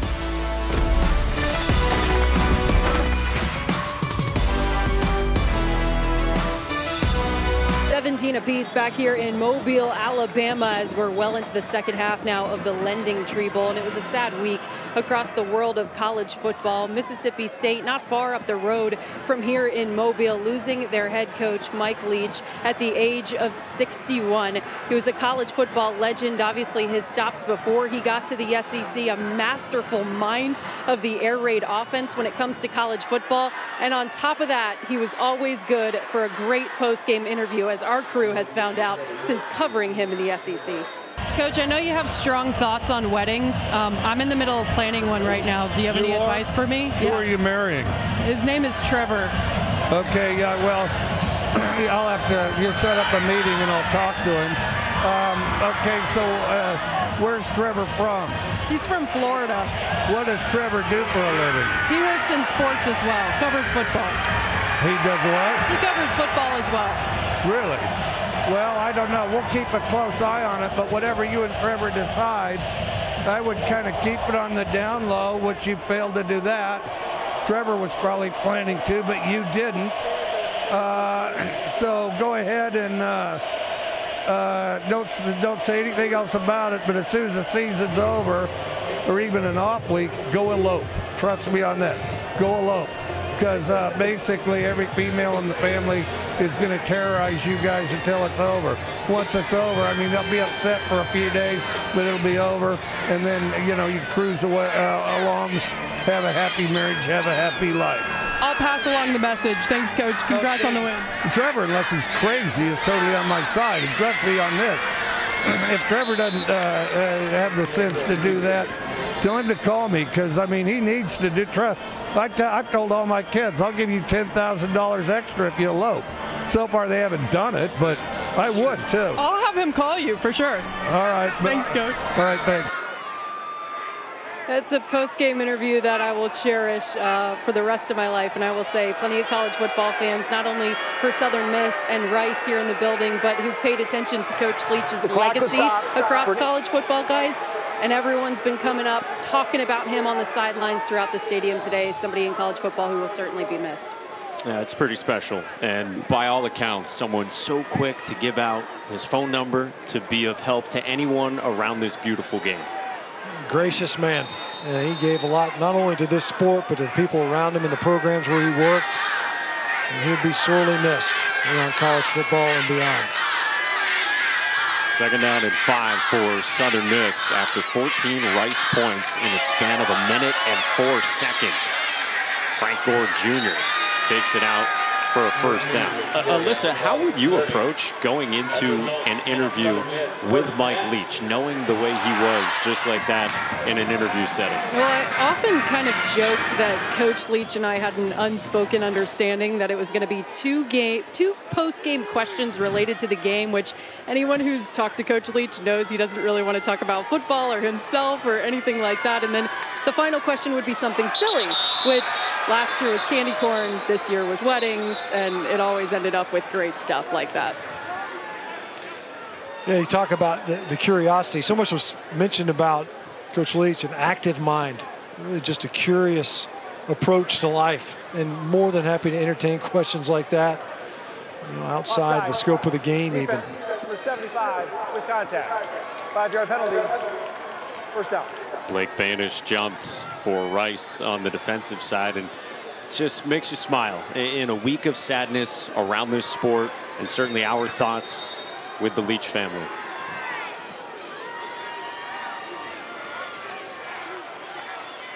So we got a good one going here in Mobile, Alabama. Early on in this third quarter in the LendingTree Bowl. Rice on the comeback trail against Southern Miss. Trey Lowe from the 36 gives it off to Frank Gore. And Isaiah Floyd, the nose tackle, stacked him up, brings up second down and short. When you see Rice is in there raking at that football, Isaiah Floyd doing his best to try to rake the ball out from Frank Gore Jr. And that last fumble really wasn't on Frank Gore Jr. It was kind of a improvised play by Trey Lowe. But regardless, Rice with the two takeaways in this game.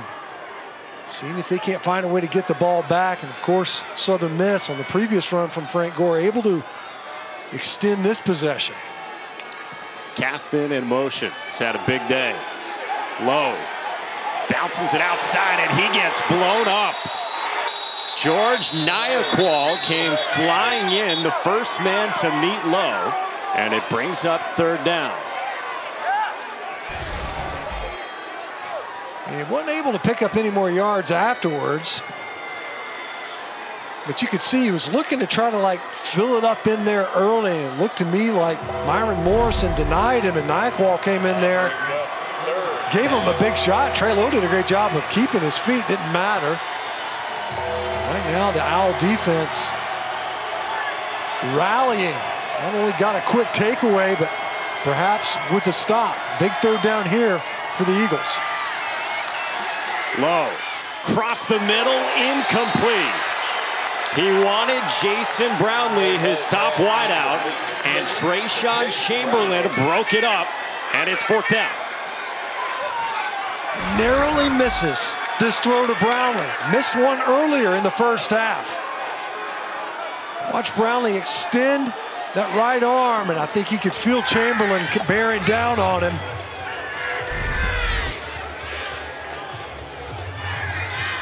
Big stop for Rice to get the ball back to their offense quickly. Another tough snap to handle for Mason Hunt. Second time he has gone Dansby Swanson in this game and taken one in the six hole off a hop. It's a punt of 53 yards. Well, Rice has been on the move. A.J. Padgett was doing the Cam Newton earlier this half. He's got it after this.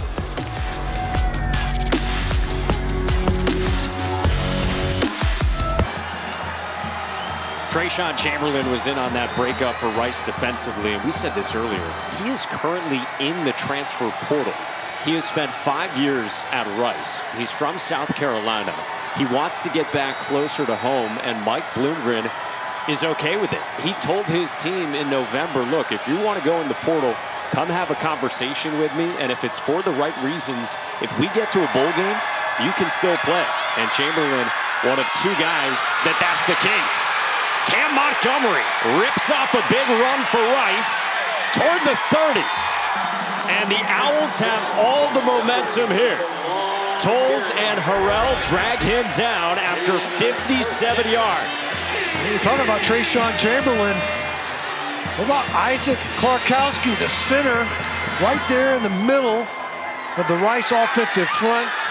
Helped open that hole for Cam Montgomery to explode through now it's big plays here in the second half for the Rice Owl offense. You see Klarkowski right there in the middle. He's in the transfer portal, but he's seeking to get back closer to home so he can wrestle. Not even looking to transfer to play more ball. Nice blocking on that run. Juma Otoviano A couple of yards. Yeah, Klarkowski's from Green Bay, Wisconsin. He's hopeful that maybe he could wrestle in Madison for the Badgers. And so you got him in the portal, Chamberlain in the portal. It's not something you hear a lot at this time of the year. No, you know, you think about Deion Sanders, head coach at Jackson State, a former, now the head coach at Colorado, but coached in the bowl game today. You don't see that hardly ever either. A couple of unique circumstances. See Trey Philippi the extra offensive lineman hustling off late onto the sideline. Play clock below 10 for A.J. Padgett, who's been rolling here out of halftime. The freshman toward the end zone again and too far. Intended for his tight end, Boden Groen. Trying to sneak the tight end out there, but you think back to that first half. And the story for Southern Miss offensively was the big plays as a nice owl is shaking up. Looks like it's Cam Montgomery. But the story here in the second half has been big plays for the Rice offense. The takeaway, and you're able to put it right in the end zone. One play in the previous drive went 70 yards, largely in the air. You see Cam Montgomery maybe just shaking up a little bit there for a moment. Able walk off the field under his own power. Big long run as Luke McCaffrey substitutes himself into the lineup as well third down opportunity. You look at the points, a tie ball game, of course. We saw earlier third down, they ran it. Weren't able to pick up any yards when they were actually in the red zone. See if they play it conservative. Do they even consider it to run it and get it to fourth and short, or is this a pass opportunity? Yeah, it might be a little long for their field goal kicker, Christian Van Sickle. His career long is 43. On third down, it's McCaffrey from Padgett again, and that has been automatic. Luke McCaffrey for another first down into the red zone. Malik Shorts is still down and now slowly gets to his feet. Timeout for an injured player on defense. Six targets, six catches. Nearly all of them are for first down. Maybe all of them for first down. Luke McCaffrey has been clutch in this ball game. AJ Padgett, when he has it, it's a half two play. He's looking for number 10.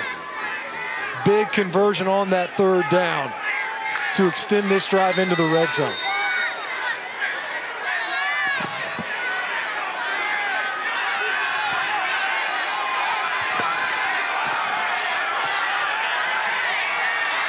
Quentin Jackson comes in at running back beside A.J. Padgett from the 18-yard line. End zone, wants it again. He's got Rosner. Touchdown, Owls. A.J. Padgett's third touchdown toss of the quarter.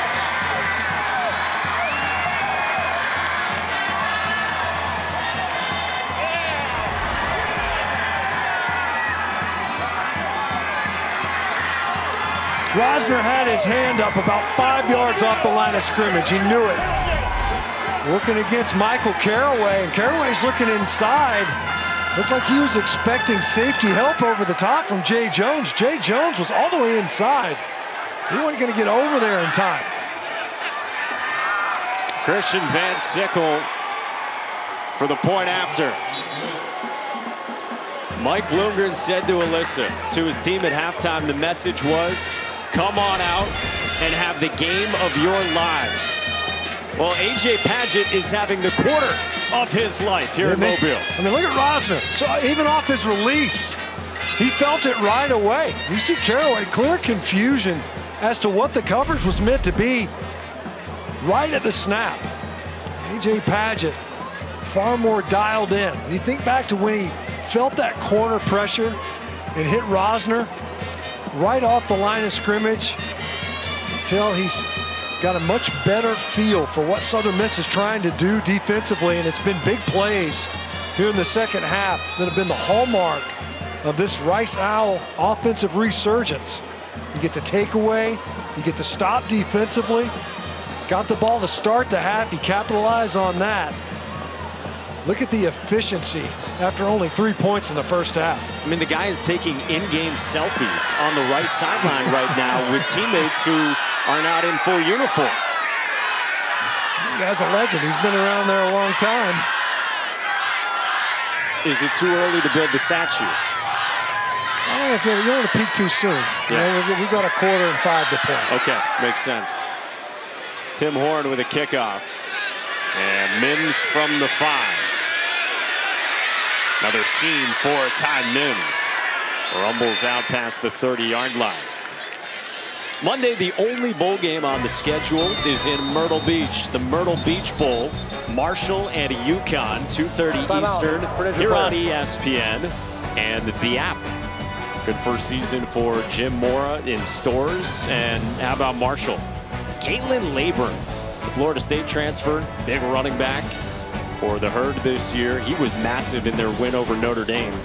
163 yards on the ground and a touchdown for one of the very good running backs across the country and one of the best in the Sun Belt. Can't say enough about the job that Jim Mora did or has done at UConn. See, uh, injured Rice Owl. Looks like Trayshawn Chamberlain, we just spoke of, injured on that kickoff coverage.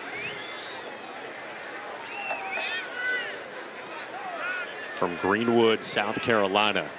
Fifth year senior has started a ton throughout his career. Been an all conference guy for the Owls.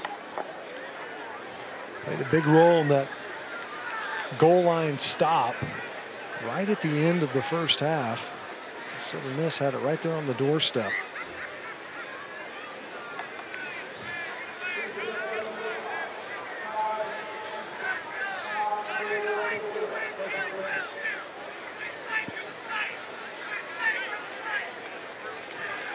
Good to see him move. He's pretty still there for a little bit. Always gives you a pause. And those kickoffs among the most violent plays. Well, five to go in this third quarter, and in the first 10 minutes of it, A.J. Padgett has been nails. Yeah, I mean, it was such a quiet first half. You really didn't see this coming, but Esdale finds himself in the end zone. How about twice? So he explodes here early in the second half, and then Bradley Rosner. He knew he had it right off the line of scrimmage, and Padgett is feeling it. True freshman rattled a little bit there in the first half. Boy, as he settled in here in the third quarter. He's on the bike right beside Wiley Green, who was the starter to begin the year. And Wiley Green recently had a conversation with Rice head coach Mike Bloomgren and said, think about how much Padgett has grown since the beginning of the season. Mike Bloomgren said, think about how much he's grown in the last two weeks yeah. since he's been the starter. That's a great point. See Wiley Green rocking the visor and the stash. Ooh. That's sharp. He's got the handlebars on it and everything. Gosh. It's all happening here in Mobile. Trey Lowe to the air for Southern Miss. Throws a one-hopper at Latrell Jones. Brings up second down. Still just a one-possession football game. Rice had to have this explosion just to climb back into it. Now with the lead, plenty of football yet to be played. And when you think about it, we haven't seen a lot of staged drives. They've largely been fueled by big plays. About, a 50-plus yarder by Cam Montgomery that jump-started that last touchdown possession for Rice. Southern Miss, same thing. What they've, what has eluded them so far is an explosive play. It's what ignited their offense in the first two quarters. And you see just 11 yards this quarter for the Golden Eagles. Lowe. Complete across the middle to Jakarius Caston. They spot him at the 49. Ball came out, we think, after he got drilled. And Caston is down after the hit from Gabe Taylor. Big hit. Right as Caston made that reception seemingly.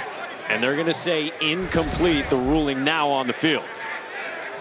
It's kind of reminiscent of the play that we saw in the first half with Jack Bradley.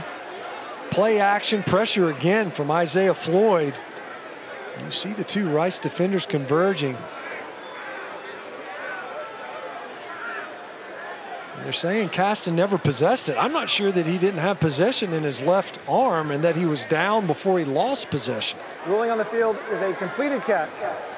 The receiver was down before losing control yeah. of the ball. So, there, so the officials are now saying that the ruling on the field was that it was completed and that he was down before he lost possession of the football, which is how it appeared to have happened. We were wondering, was such a big hit, had that ball kind of been rattled loose prior to his reaching the ground. Well, I got to tell you, in watching it, we're seeing it a couple more times. I'm not sure that he possessed it before he hit the ground. And I think the incomplete pass, we said that, the officials did not. I'm not sure that he ever caught this football. You think it's coming yeah. out or loose, not in his possession in some way before he touches that? Yeah, I mean, look, look at that ball right now. That does not look like firm control as he's going to the ground, and it certainly didn't look like it prior. And Mike Bloomgren is yeah, barking at the officials yeah. on the sideline near yeah. midfield. Mike Bloomgren seeing those same replays on the big screen here in, in the stadium. And he's going, wait a minute. I'm not sure this guy, I'm not sure that the receiver had possession. He might be arguing that he was losing possession after he would have established the catch before he was down. And that may very well be the case. That ball right. looks like it's going out. It's challenging the ruling on the field of a completed catch. We'll review the play. So he will challenge this. He saw enough to challenge, and you, you look at it, and the question is, does he possess it when his left foot comes down? And before his hind end touches the ground to establish him down and the ball dead. See, I think that first hit jarred that ball loose. That's not, that does not look like firm control. The ball was turned completely sideways and on his hip with one hand. Prior to his reaching the ground. That's going to be tough to see, though. You got Gabriel Taylor's kind of obscuring that look and you can't see it. You can't, you would have to infer at that point the ball's clearly not secure. You see his hand flopping around on top and below it. Right, and at that point he is down. So could they down. see enough from the angle before that? Further review, the ruling on the field is confirmed. It was a catch. The ball was stripped out by the defender. Rice will lose their challenge for the remainder of the game and is charged their first time out of the half. So Mike Bloomgren with a quizzical look well, after getting the news. Yeah, what, what, he can't believe, I'm sure, is that it wasn't that it stands. I confirmed. I don't know that you can see anything that would confirm it. You know, if anything, it's debatable that ball was already out. It didn't have an angle to see it. Regardless, that, that is fortuitous for Southern Miss. Who just has not moved the football since halftime. They've had the turnover struggles on both sides of the intermission, and now they go to the super back, as they call it, with Frank Gore Jr. in the Wildcat look. And Gore wants to throw. Takes a shot, incomplete, and there is a flag. Intended for Jason Brownlee, who was matched up on the perimeter there with Traeshon DeVones. The flag came out pretty early. I think before Frank Gore Jr. had thrown the football, so likely a defensive holding. Prior to the pass, holding, defense, two, 10-yard penalty, automatic, first down. It's not a bad penalty if you're DeVones, especially if you feel like you're beat. Actually got Frank Gore in there at super back. See DeVones, the stutter go. He knows he would have been beat. I see no holding on that whatsoever. I don't, I don't know where the holding happened on that play. So if you're a Rice fan, perhaps a couple you're not pleased with. And now Southern Miss driving, and they're inside the 40. They stay super back, and it's Gore. Bouncing off tacklers. Frank Gore accelerates, cuts it back, and Gore lost the football. They'll say he was down at the 12-yard line. Ruling on the field as the runner was down prior to losing control of the ball. First down for Southern Miss. Ball security being tested here for Southern Miss. 25 yards. They say Gore was down. You see the patience pops through, breaks a tackle in the backfield. Would have been a tackle for loss. And now we've got all sorts of flags flying, three of them before the snap right near the line of scrimmage.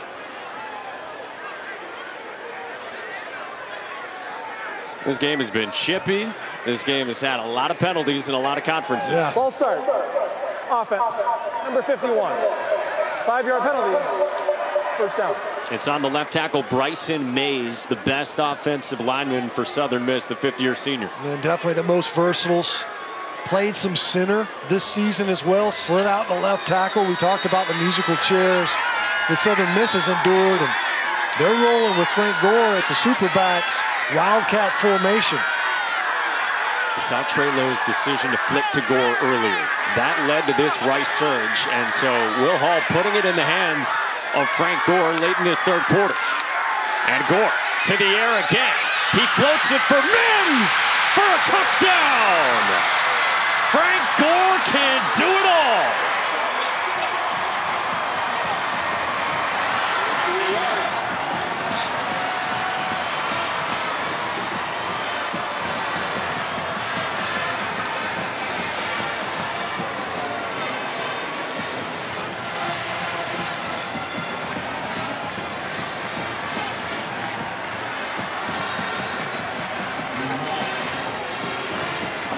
The touch?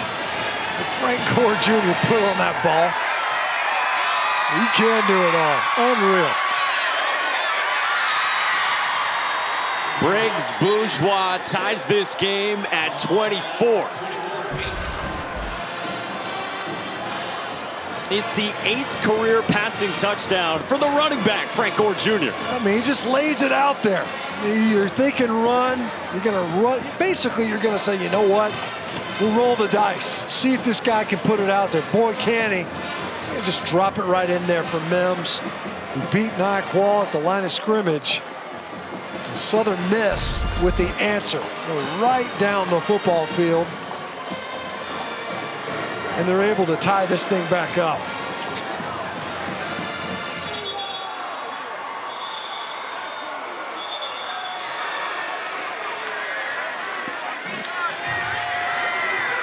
I mean, we talked with his offensive coordinator, Sam Gregg. He said, in no uncertain terms, he's the most versatile football player I've ever been around. When you watch him play, and you think about it, he's got that big run. He's got a passing touchdown. That was his series, effectively. I said, look, we're going to get the ball to our best player. And they had him handing it off. He was taking some snaps in the low red zone. He's feeling it. Teammates are feeling it. How good is this? We got Frank Gore Jr. dancing up and down the sideline. We've got the Rice freshman quarterback taking in-game selfies yeah. on the sideline with one of his teammates. And we still got a ways to go here in Mobile. Hey man, it's postseason. These teams haven't been here in a while. we're going to make the most of it. Enjoy it while we're out here. A lot of football yet to be played, knotted up at 24-24. Who would have thought after a, a three-point first half, 20 total points in the first half. To see this level of explosion, what we got 21, call it 28 points here in the third quarter. Some kind of turnaround for the freshman A.J. Padgett, who's in a rhythm now. Starting to cook, connects again with Rosner, who he hit for that touchdown earlier. Let's go down to Alyssa. Yeah, guys, as the Rice offense is back on the field, it looks like they'll probably finish this game out without their star running back, Cam Montgomery, coming out after that last offensive drive. He was limping a bit on the sidelines, tried to run up and down, but I only saw him continue to limp. He's now got a bag of ice taped onto that right knee here on the sidelines. Wow. So there's your running back and Jack Bradley, tight end, not available clearly here in the second half as well.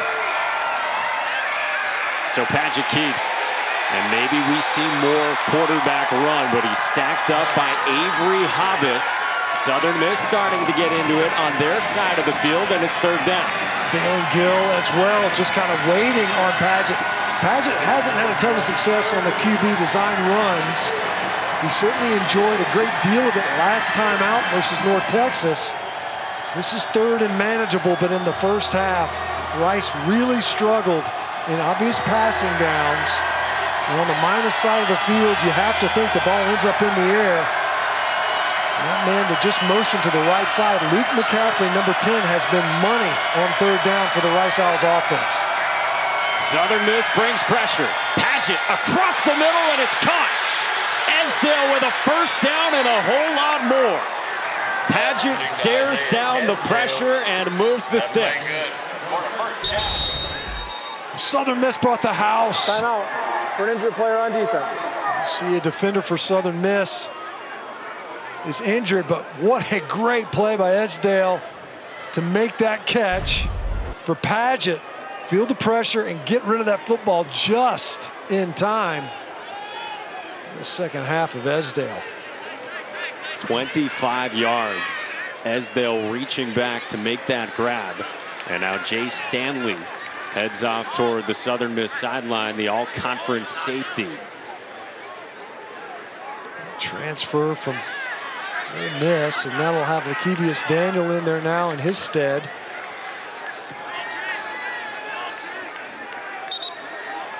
And you're without one of your best players on defense if Stanley has to stay out trying to figure out A.J. Padgett in this kind of not even second half, the third quarter, which yeah. is still going, and he's been dealing since halftime. You see it, just the, the immense difference. Now, part of that, I think, is a function. Of course, you stole a possession effectively in a short field, a one-play drive, 32-yard touchdown toss, but Padgett clearly more comfortable here in the second half. Marcus Tuiasosopo, his offensive coordinator, said to us, he's a freshman. He's a little bit goofy, but he's got a ton of poise. He got blasted there. Fires incomplete toward Rosner. Avery Hobbs came on the blitz for Southern Miss defensively and it's second down. They just lost at left tackle. Austin Padgett, or A.J. Padgett rather, has taken some shots. And I don't mean like pushing the ball downfield. I mean getting popped as he's unloaded the football. A couple of times hit from behind. Oftentimes it's been the boundary, either a boundary corner or from the boundary side of the field. Padgett's blind side. And he has gotten nailed as he's delivered the football.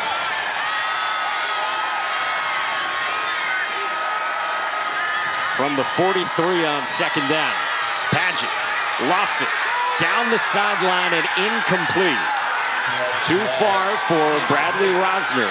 Eric Scott Jr., the senior corner in coverage, and it's third down. I looked out there, liked his matchup, just too much on that football. And they talked about it. He's got that big, strong arm. Hasn't had a ton of game reps, though. Third down, and we've seen Rice find ways to get a conversion. You have to think it's the old saw, but just off the end of the line of scrimmage, the bottom of your screen, that's Luke McCaffrey. And he has been the go-to on third down. 10 and Gray, six grabs already. Instead, the other side for Esdale and incomplete. Eric Scott with great coverage again. Malik Shorts over to help out. Fourth down, and Rice will send out the punt team. Little greedy right there, it seems like. If anything, if you're going to throw it out there, give your guy a chance too much on that football. There's really no even opportunity to try to draw a pass interference. Instead, back-to-back -back overthrows from A.J. Padgett. Connor Hunt comes out the punt. Natron Brooks standing at the Southern Miss 10. Nose down, kick up, and it bounces just outside the five. And that is beautifully done by Connor Hunt, pinning Frank Gore Jr. and Southern Miss right by their goal line.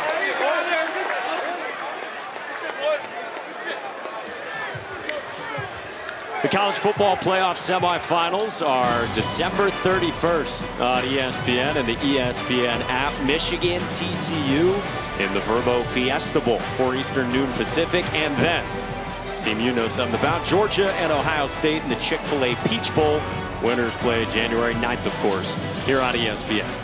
How about that? Ohio State, everything that needed to happen did. A non-division winner finding its way into the college football playoff. The Buckeyes, with the talent that they have on offense especially, they've got some big play potential in them. Here in Mobile, Southern Miss starts from inside its own five. And Frank Gore Jr. bursts through with a big one. Gore cuts it back. And a stiff arm for Chamberlain, who runs him out of bounds inside the 40. He can do everything for Southern Miss. 59 yards. This great opportunity. You got your opponent pinned back. Unless they get the ball to the super back. He just cranks one out. You're just trying to get a little bit of room. It's an inside run. Instead, you get an explosive. Once again, Frank Gore Jr. just picking it up where he left off on the previous possession. It's a Southern Miss bowl game record, 217 rushing yards. His first career 200 yard game. And we talked to the coaching staff. They were worried about keeping him fresh, making sure he didn't have any lulls in the game where he's getting tired. He, he can catch his breath right now, but you understand if he's out of breath. Yeah, makes sense, right? I mean, it's not just his legs that get tired. Might have a little arm fatigue. What's interesting is haven't looked over there. He you know, he hasn't warmed up as a passer. So because of that, you know, you go in there and you know, he's thrown a few downfield as you see him working on Gabriel Taylor. He and Treshawn Chamberlain both were a little bit shaken up at the end of that last play. Watch this run, though. You just get pierced right there, just beside, right there behind right guard. Frank Gore just sticks his foot in the ground, gets upfield right now, and you're just trying to get yourself a little bit of breathing room. What a huge play for the Southern Miss offense. Down to Alyssa. You guys talk about that conditioning level of Frank Gore Jr. I talked to him this week. He said that there was such an emphasis from him throughout the offseason, into fall camp, and even throughout the season about staying in the weight room. He was really adamant about the fact that he wanted to be 100% all season long without his body breaking down, and he's obviously been a huge workhorse tonight. And of course, he gets asked all the time, Alyssa, about his father, who will put him through the same workouts that even late in Frank Gore Sr.'s career he was doing. So Frank Gore Jr. was training alongside all these NFL guys, getting up early, putting in the time, and readying himself for moments like this. Well, he's certainly up for the challenge. There's no doubt about it as they help Gabriel Taylor off the field for the Rice Owl defense. And once again, Frank Gore Jr. just showing what a great job he does of breaking tackles. Jordan Dunbar had an opportunity to make the tackle. He didn't. Cost him another big play. And now both these offenses just kind of trading haymakers back and forth. So Taylor was the injured party, as we said, in the Rice secondary. And now first down from the 39. And it's Gore.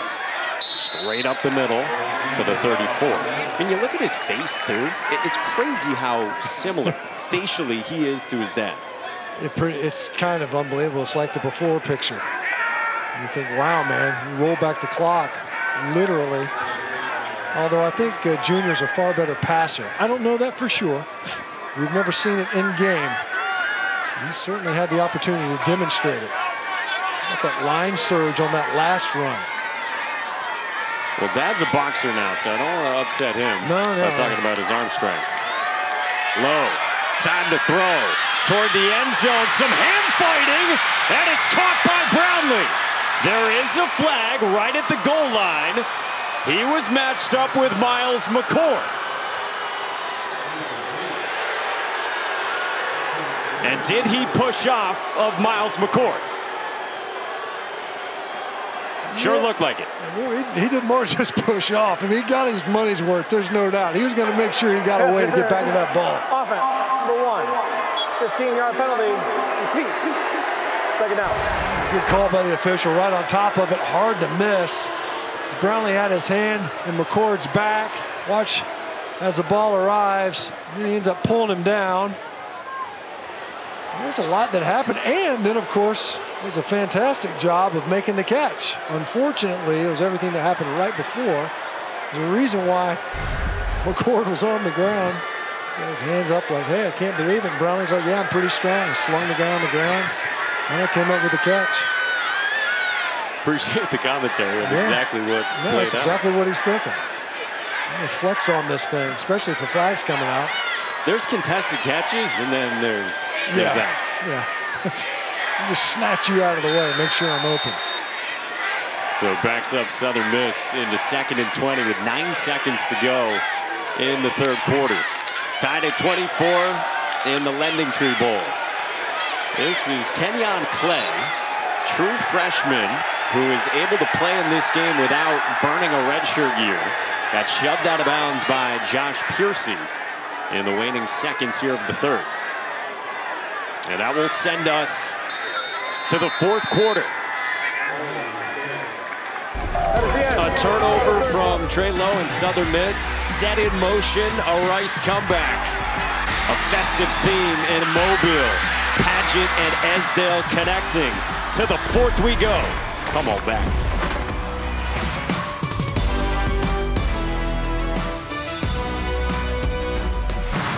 Welcome back to the LendingTree Bowl as part of Capital One Bowl Mania from Mobile, Alabama. Alongside Matt Stinchcomb, Alyssa Lang down on the sidelines, Mike Monaco with you, our entire crew behind the scenes as we go to the fourth quarter. 24 all between Rice and Southern Miss, who faces third down and long from the plus 45. And a second half that has been controlled by Rice. Frank Gore Jr.'s got other ideas. Another shifty cut. He's got a first down. And keep on feeding Frank Gore Jr. Number three is the recipe. You had a light line of scrimmage. Only three bigs. You two linebackers walked up into the line of scrimmage, but on the opposite side of the line. The point of attack was exactly where it needed to be for Frank Gore Jr. Third and 16, of course, it's going to be an inside handoff. Yes. That's what the analytics say. Yeah, yeah. The analytics say when you have almost no bodies from tackle to tackle, run it at them. 19 yards there. Trey Lowe toward the end zone. And that in the back of the end zone is caught for a touchdown by Jason Brownlee on a dart from Trey Lowe.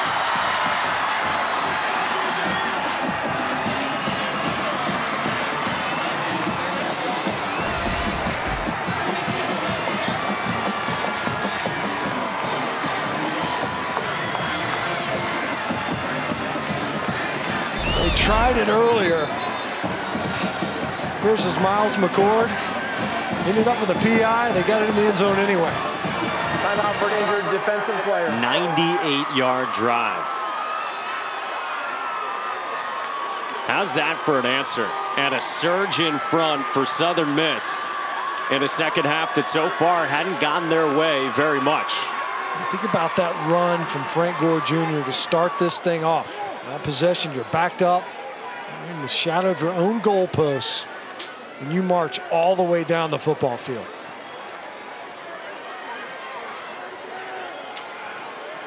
Got a player down outside of the end zone where that pass was caught by Jason Brownlee. Miles McCord had been in coverage trying to solve Brownlee.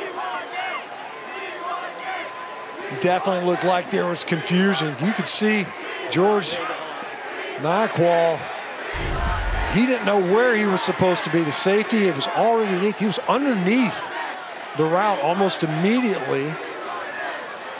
Miles McCord beaten by Brownlee at the line of scrimmage. Southern Miss, who turned what was a really long field, about as long as you could make one, yeah. and take possession of the football, found their way into the end zone. How about Trey Lowe, too, bouncing back from that turnover that he had early on in this third quarter?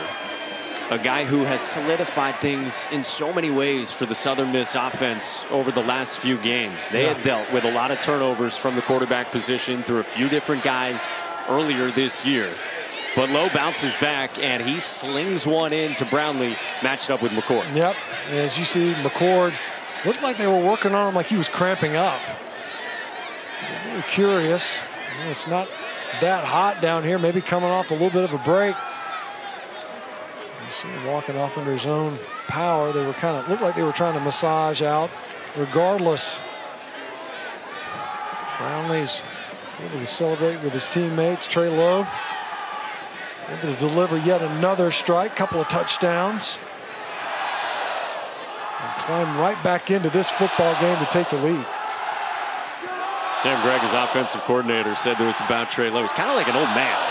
He's got a calming presence and they talk together like Sam Gregg would talk to the head coach, Will Hall, when they're chatting through items about the offense. And Trey Lowe comes up big to Brownlee, and Southern Miss has the lead here in the first minute of this fourth quarter. Low to Brownlee. Diving grab in the corner of the end zone here in Mobile, Alabama.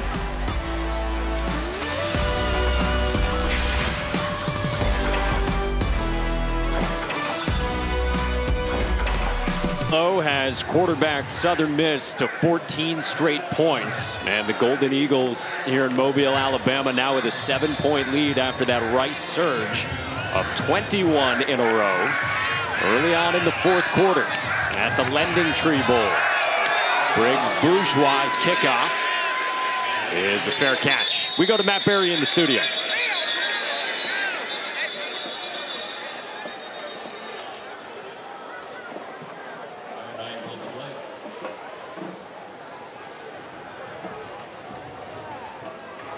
Offside, kicking team, number 24. That five-yard penalty, you've been forced from the succeeding spot. All right, so still to come. We told you it's a North Texas team that with a coaching change, so they've got an interim coaching situation as well, and we've seen that a lot early on in bowl season. As you pointed out too, with a great deal of success, not necessarily a death knell for your prospects in your bowl game to have an interim coach in there. Sometimes guys rally, pull things together, put together a heck of a performance. We got Mike Bloomgren, the head coach of Rice. His team has it at the 30 after Southern Miss was offsides on the kickoff. So what does A.J. Padgett have in store after a monster third here in the fourth? Goes to his tight end, Boden Groen, toward the sideline. And an easy access completion to start this drive. And more open formations from Rice here in the second half. Part of that's got to be a function of personnel availability. Marcus Tuiasosopo, the play caller for Rice, offensive coordinator, said, you know, early on in the season, we're more of a nickel run team. They got a little bit more physical, but now because of their limitations from a personnel standpoint, they had to change a little bit. Now they've got an extra offensive lineman, 72, Trey Filippi is right there, lined up at where a right tight end would typically be. Remember down the starting tight end, Jack Bradley, and Cam Montgomery, the top running back as well. So it's Quentin Jackson on second down for three yards. Christian Booth makes the stop, and it brings up third down and two from the 38. In comes Juma Otoviano. they've got the big bodies in there. Lippy stays in there as well. We talked to Coach Tuiasosopo, and he mentioned how they take pride in their short yardage. Interestingly, open, somewhat open formation here. Almost third and two, longer than when you typically see that big hippo formation. Yeah, it's not the heavy set formations, but it is a run, and it's Otoviano out toward the line to gain the 40. Jalen Williams stood him up, and it is very close to a first down. line judge where he initially walked out, it did look as if, and they're signaling first down. David Otoviano just slamming it up in there. The helmet of defensive player number 96 came on. Coming into this game, Rice was really good. Third and short, they converted about 63% of the time. Been good on it here tonight and doing it a little bit differently here in the second half. As yeah. you said, they have opened things up. They've given a lot of control to the true freshman quarterback, A.J. Padgett. The only 5 and 17 in a bowl game this season. Pressure on Padgett. Rolls out to his left, tucks it and gets popped. Dominic Quewon was in there for Southern Miss. They stayed with the big personnel. They actually had Filippi on the right side and Groen, 85, but that's where the pressure comes from. End up coming off the edge right away. It was Cameron Harrell. Came off the edge, Actually collapsed on the inside out as well. Just poorly protected from the get-go. 10th sack of the season for Quewon, threatening the single season record of Adalius Thomas. Deep shot on second down for Rosner, and he draws a flag. Tried to climb over the top of Cam Harrell right along the sideline. Savvy play there by Rosner. I was about to say, what a smart play by Rosner. I mean, I'm not sure this ball is catchable. Pass interference. Defense, number 29. It's a heck of a performance. 15-yard penalty, automatic. First down.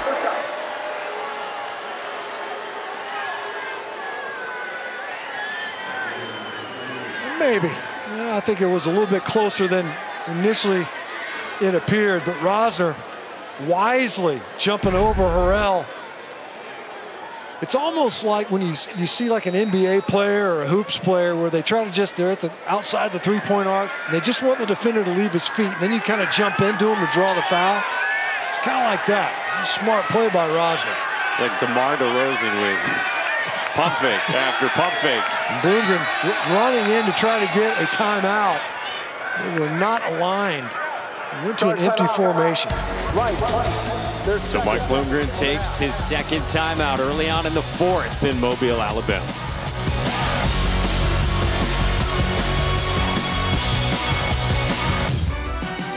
The LendingTree Bowl is brought to you by LendingTree. With LendingTree, you win. Southern Miss royalty Ray Guy, who passed away earlier this fall.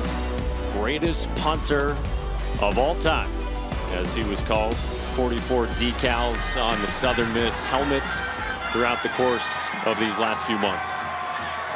Unbelievable football player, wasn't he? I mean, you talk about the specialist position. He was a weapon. for Any team that he lined up for, flipped the field. A proud Southern Miss program. Will Hall in his second year with a seven-point lead on Rice here in the LendingTree Bowl. Just under 12 to go in the fourth. Rice with the football in plus territory. Padgett takes a shot down the sideline into coverage, and what a catch by Quenton Jackson. The freshman stepping up on the biggest stage of his career, climbs the ladder on Natron Brooks for 34 yards. It was kind of reminiscent of the first play of the game by Southern Miss. It's underthrown and behind Jackson. We're talking about a running back here. Watch him high point this football and come down with it. Firm control all the way through it. Natron Brooks in coverage. One of the best cover men for Southern Miss. Just misjudged that one. And how about Jackson climbing the ladder? Wasn't even on the depth chart coming into today. And now dangerous throw over the middle is incomplete from Padgett in the direction of Luke McCaffrey near the five-yard line. Mike Bloomgren, 5 and 17, his fifth year at the helm.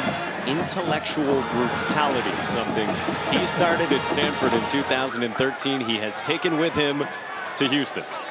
That's fantastic, right? Got the brains and the brawn. You think about the mentality that he has brought with him here to Rice, and it makes sense. Academic institution, second smallest student population all of FBS, and you see a couple of late subs along the offensive front. Miguel Sedano coming in there now at right guard. With that extra lineman, Filippi, as a tight end attached on the right side of the formation. 72 in gray. And the 232-pound running back, Uriah West. The brutality part of it. Padgett to the air, to the end zone, and it's incomplete. Intended for Bradley Rosner with Eric Scott in coverage. It was David Shaw who told Mike Bloomgren when they were at Stanford together, hey, you should trademark this.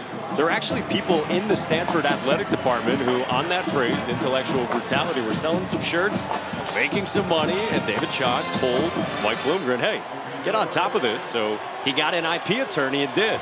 Smart guy. I like it. It's catchy, to say the least. Now the question is, can they impose some of that intellectual brutality here in this red zone possession to tie this football game up? Pre-snap movement. Flags all over the place. Looked like Rice jumped.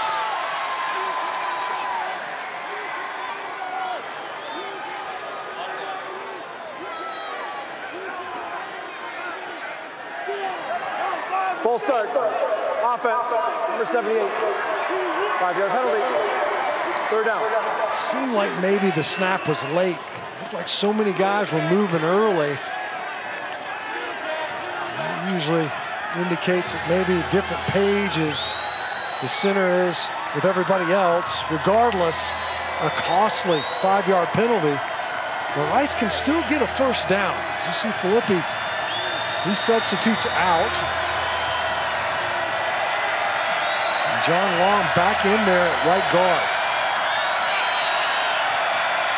Third down and 15 for A.J. Padgett and the Owls. Luke McCaffrey in motion. Padgett with time. He steps up. He takes off. And Padgett slides down inside the 10. They'll mark him at the nine-yard line.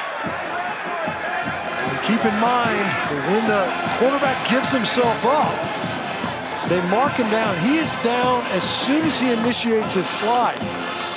As you mentioned, so he got him right there at the nine-yard line.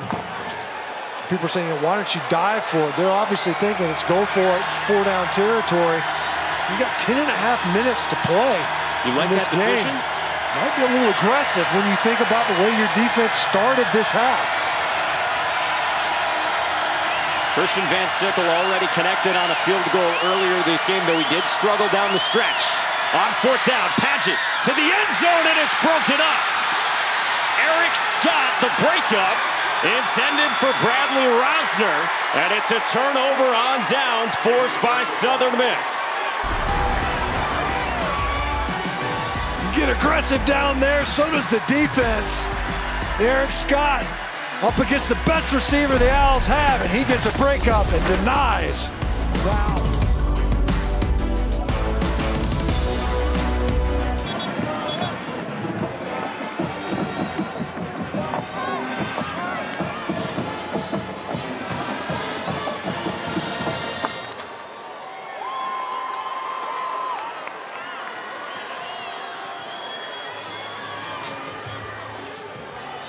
All right, Matt, 10 to go here in Mobile, Alabama. Capital One Bowl Mania, LendingTree Bowl. Southern Miss with a heck of a defensive stand down at the goal line on fourth down and six for Rice. And so Southern Miss with the seven-point lead, 10 to go. They hand it to Frank Gore Jr. He's had a ton of running room in this second half. Barrels out past the 25 to the 26 after the big pass breakup down at the goal line.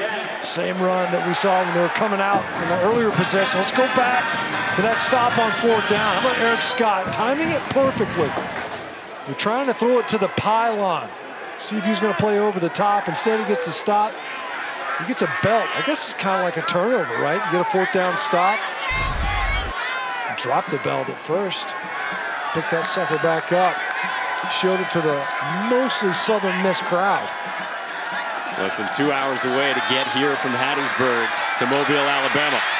Trey Lowe scanning, under pressure, throws it away shy of the line of scrimmage, and he's brought down, and a flag is down. Ekena and Achukwu brought the pressure, and now he's hearing it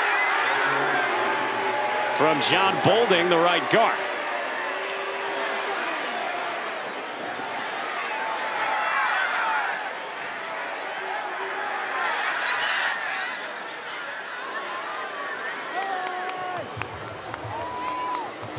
The officials congregate like they have a lot here tonight. Possible grounding, possible yeah, late hit in the mix. I was thinking they were thinking grounding initially. It was not outside of the tackle box. That ball started over on the hatch. Hash, he drifted to the middle of the field.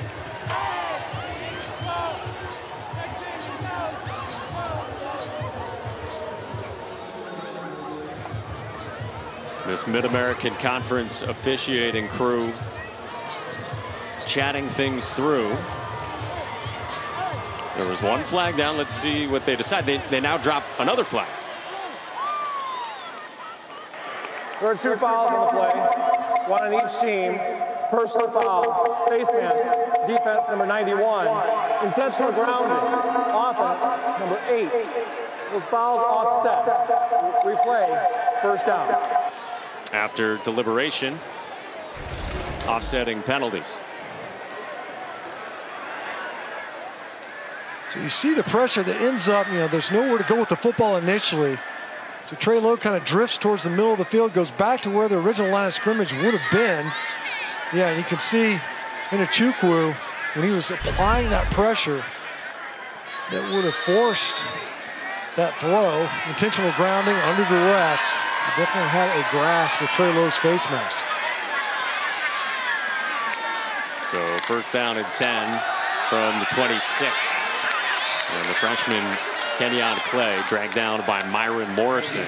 And again, if you're just joining us, Frank Gore Jr. has had himself a whale of a game. Do everything back for Southern Miss. 257 rushing yards, touchdown on the ground, and a passing touchdown. And is coming back into the game. And there for a second, you know, we were watching as they were deliberating over those two penalties. You know, he was over on the bench. Looked like he got nicked up a little bit, removed his helmet in frustration. Numbers, though. Unreal what he's been able to do, especially here tonight. Yeah, how about that? 250 plus rushing yards and a passing touchdown in a bowl game. Second guy to do it. And he gets dragged down from behind.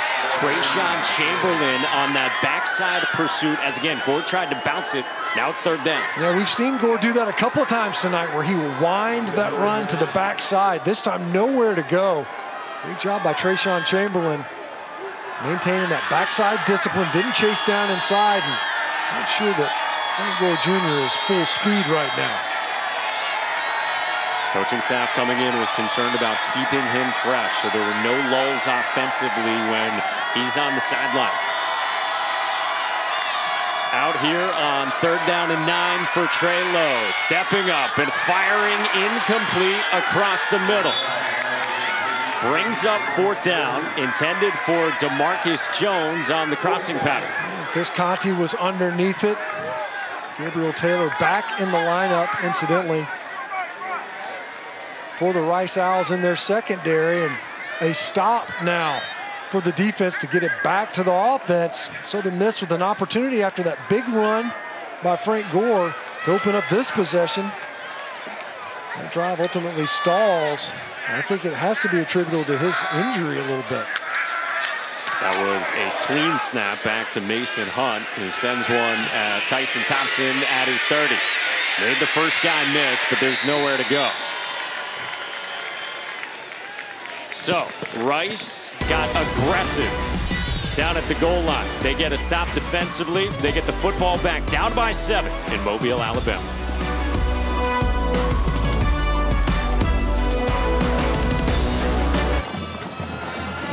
Rice has the football down by seven against Southern Miss in the LendingTree Bowl. Five and 17. Mike Bloomgren told us that last Saturday of the regular season, they lost.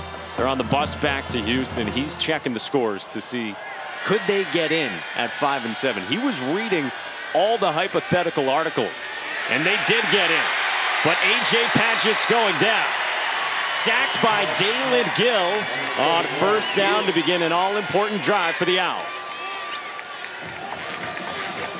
Not what you're looking for because they were going to try to go to Bradley Rosen, it looked like, on the right side of the formation. And instead, Gill just wins right now, right in the middle of the offensive front. Groen just couldn't handle him in protection. We talk about the tackles for loss. Southern Miss defense excellent, among the best in all of the country. Two running backs, Otoviano and Quenton Jackson beside Padgett.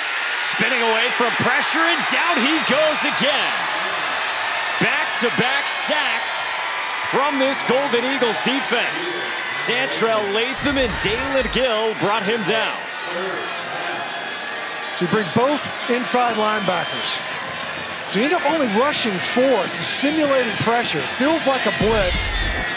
And from the strictest of definitions, only because you're bringing guys from the second level, but you're only bringing four guys. It's not like you're adding pass rushers. They're just coming from a different spot.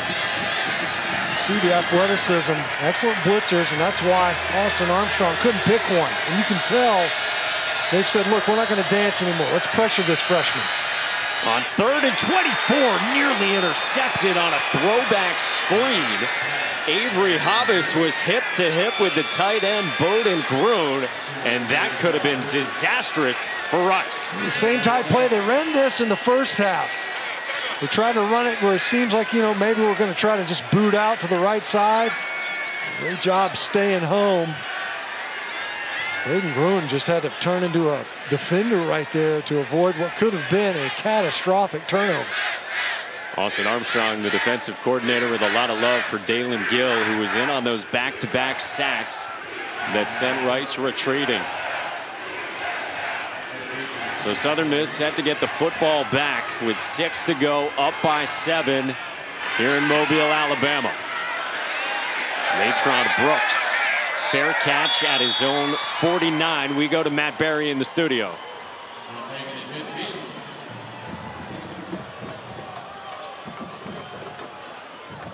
We will keep it here and get to Matt shortly.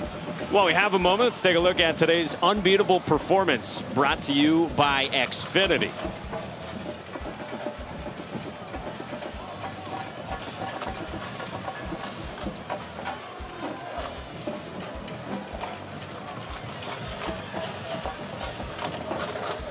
All right, so 5.50 to go.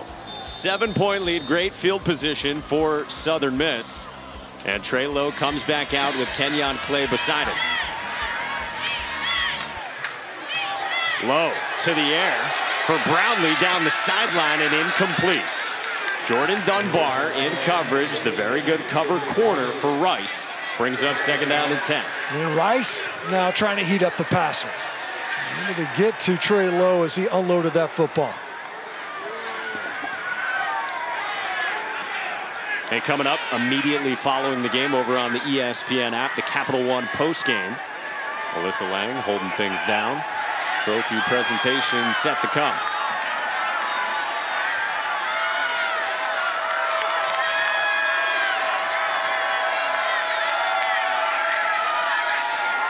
Clay bounces toward the edge and strung out. Gabe Taylor and George Nyakwal in on the tackle, the two safeties for the Owls. Third down.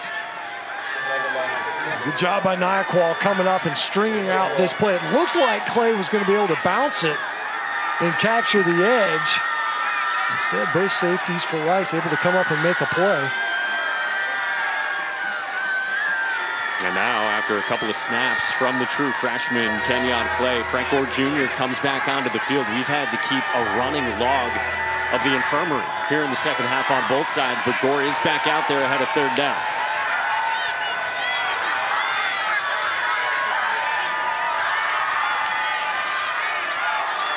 On the ground, Gore straight up the middle, and the football came out. And Rice jumps on it. And another Southern Miss turnover.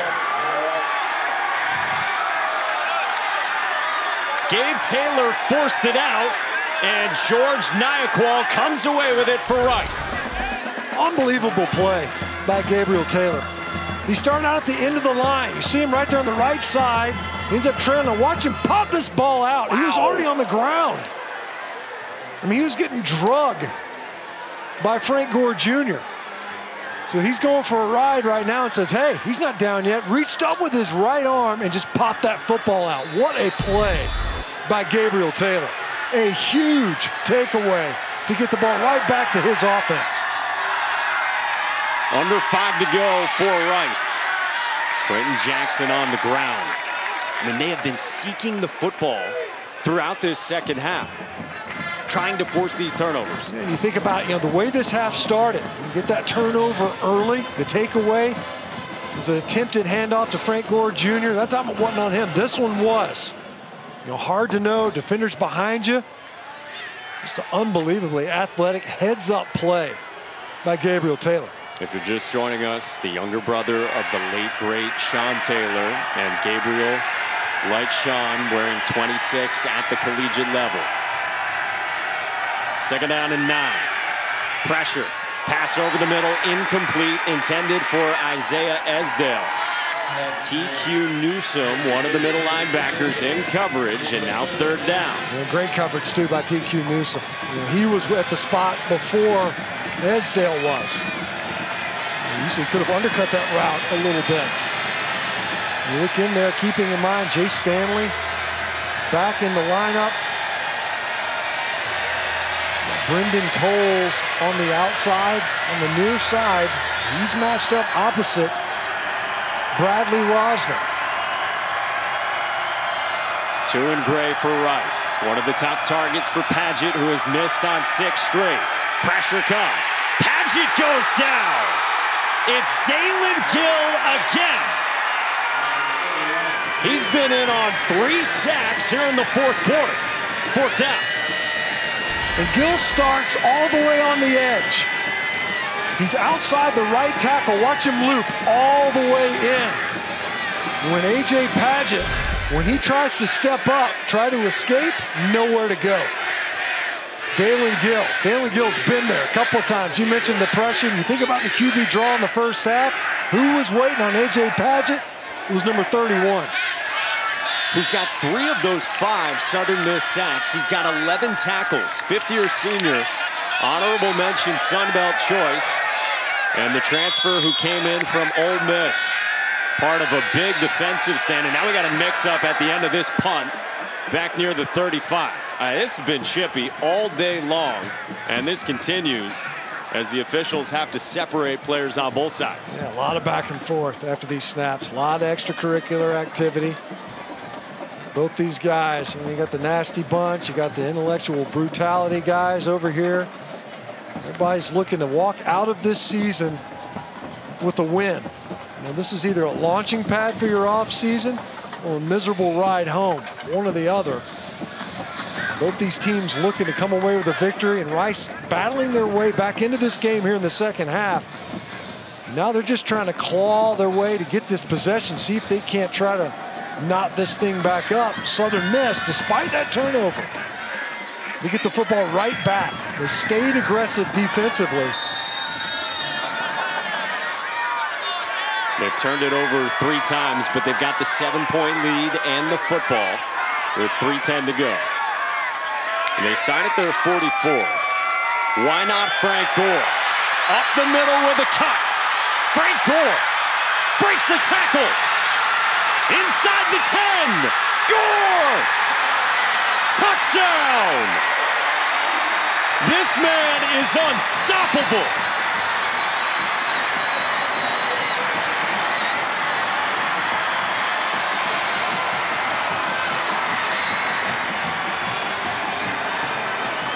Fifty-six yards. He has rushed for 329 yards tonight. He's been the detonator for this offense really all night long. And how many times have we seen Southern Miss start a possession with an inside run to number three, and he rips off a big one? It's a bowl game record here at the LendingTree Bowl. It is a Southern Miss school record as well. And the only thing that can slow down Frank Gore Jr. is Frank Gore Jr. That's right. Great blocking up front. Well, that was clean. Got him to the second level, untouched. An inside run. Number 19. He's able to take it all the way to the house. He's done it all here tonight for Southern Miss. How about that for a bounce back? And then, of course, the play caller and head coach, Will Hall, he knows what he's got in number three. Superback might not be a big enough title. You think he likes coaching this guy? And uh, yeah, we can laugh because it's a pretty obvious Capital One player of the game, Frank Gore Jr.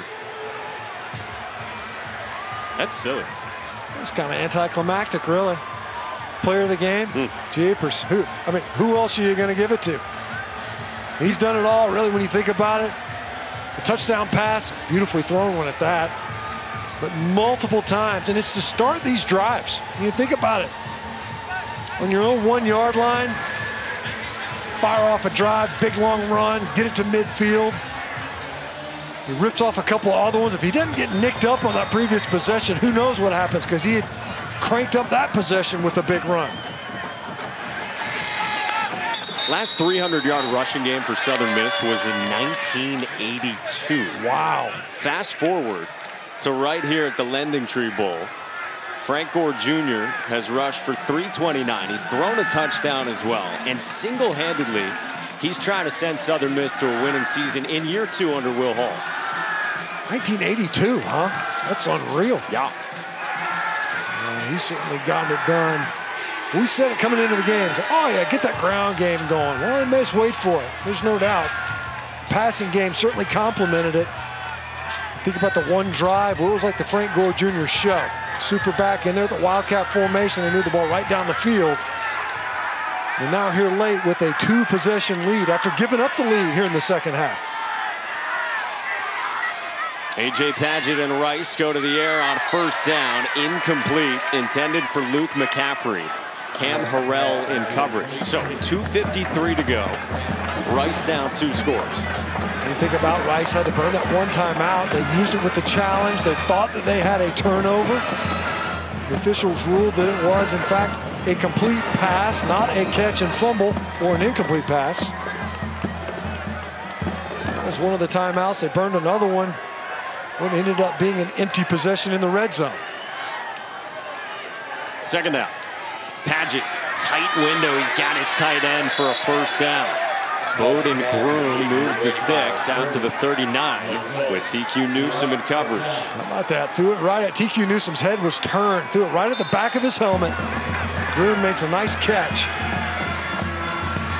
Rice goes quickly. Padgett rolls out. He takes off, gets toward the sideline, and a flag comes in. Late block from Luke McCaffrey on Jaleel Clemens, and that'll be costly on Rice.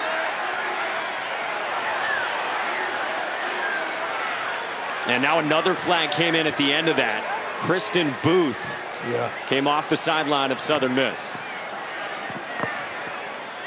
Get McCaffrey with a blindside block, it looks like. See McCaffrey here. Coming in on Jaleel Clemens and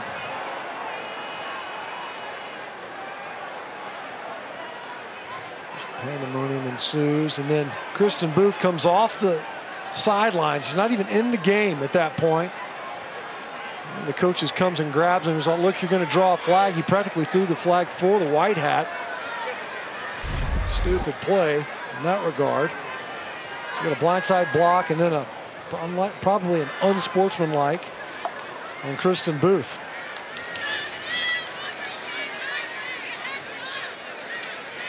What's the penalty count up to over there, Stinch? You keeping track? Yeah, so you know what? I, my, my pencil ran out of lead. I think we're at 15 going into this. Just play. 15? Yeah. Okay. All right. 15 and at least as many conferences. You weren't flying out tonight, right? no. Not anymore.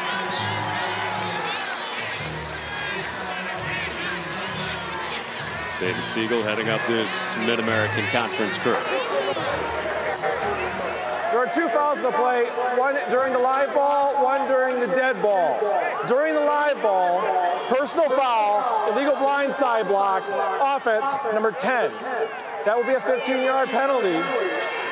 After the play, unsportsmanlike conduct on the defense, number 94, his first of the game. That 15-yard penalty will also be enforced. The yardages will cancel. It will repeat first down.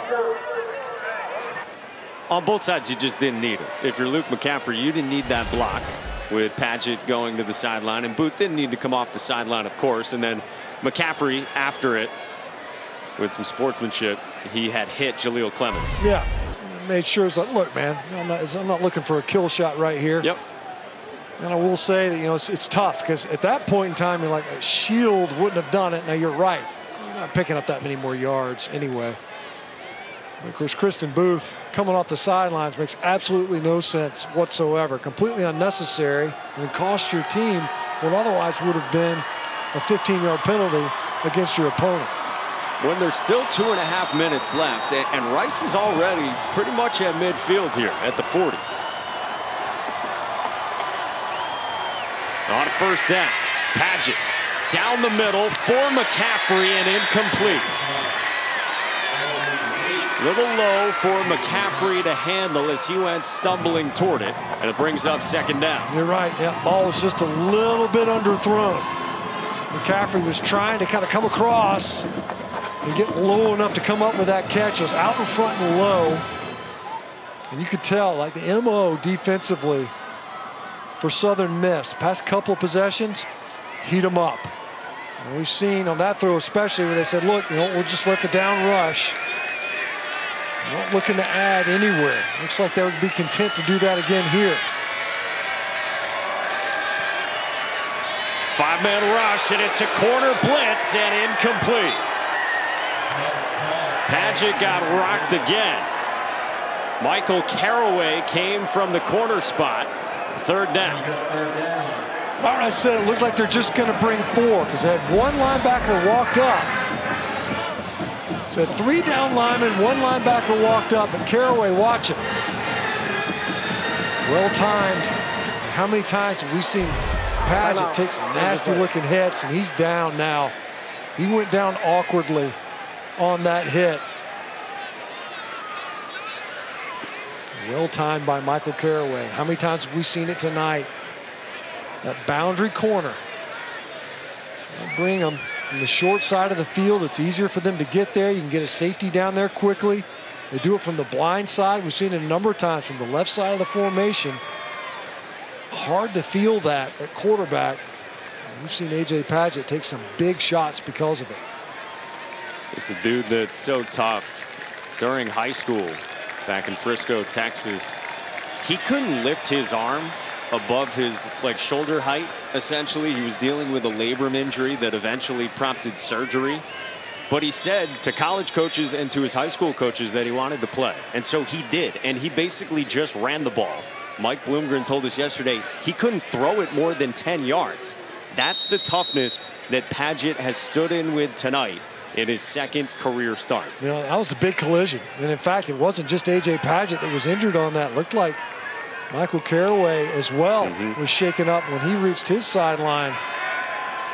He was holding that right arm. Looks like he's since shaken that off. So now Shoki Atrache comes in, the backup quarterback, and he rolls out on third down, throws on the run, and a bobbling catch made by McCaffrey. Short of the sticks, but McCaffrey gets it into fourth down and short.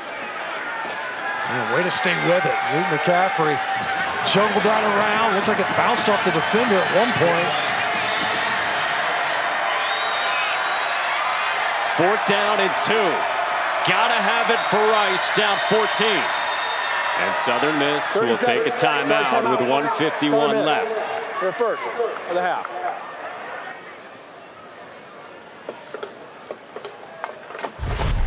Check out today's unbeatable performance. It's brought to you by Xfinity. Well, we've seen a lot happen in this ball game, especially here in the second half. And it's Frank Gore Jr. that's been the story. An unbeatable performance, almost quite literally. With the runs, touchdown throw, coming out of his own end zone effectively, ripping off another long one gets into positive territory, the doorstep of his own end zone, then rips off another one.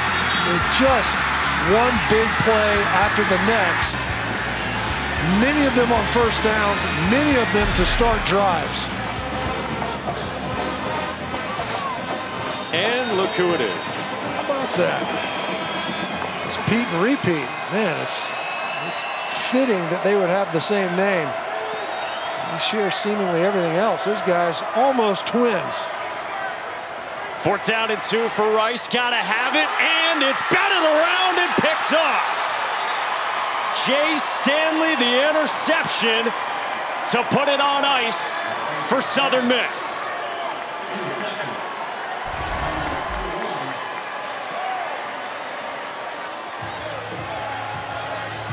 Just scrambling, taking a hit. You're in there under duress. Stanley stays with it. Rice really fortunate that Stanley didn't run through that catch. Could have easily been a pick six going the other way. Instead, juggles the catch. What a performance, especially after the way that third quarter had gone. Southern Miss defensively really rallied. And of course, you've now seen 21 unanswered points by the Southern Miss offense. And then how about all this?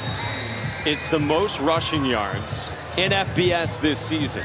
It's an FBS all-time bowl record. All of that in addition to being a school record at Southern Miss with those 329 rushing yards. And a touchdown pass. It's quite the uh, cherry on top. The officials are jumping in there quickly, especially in some of these scrum plays, given what we've witnessed in the second half. And here comes a flag. At the end of this, John Bolding, the right guard, he's barking at Ikenna Enechukwu. Trayshawn Chamberlain in the middle of it as well for Rice.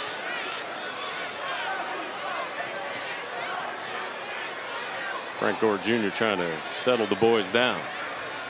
How about that? Yeah. Him and Gabriel Taylor. Yeah, I mean, it could have been a game-changing play by Gabriel Taylor. Ended up not being the case. Frank Gore Jr. came right back on another first down run.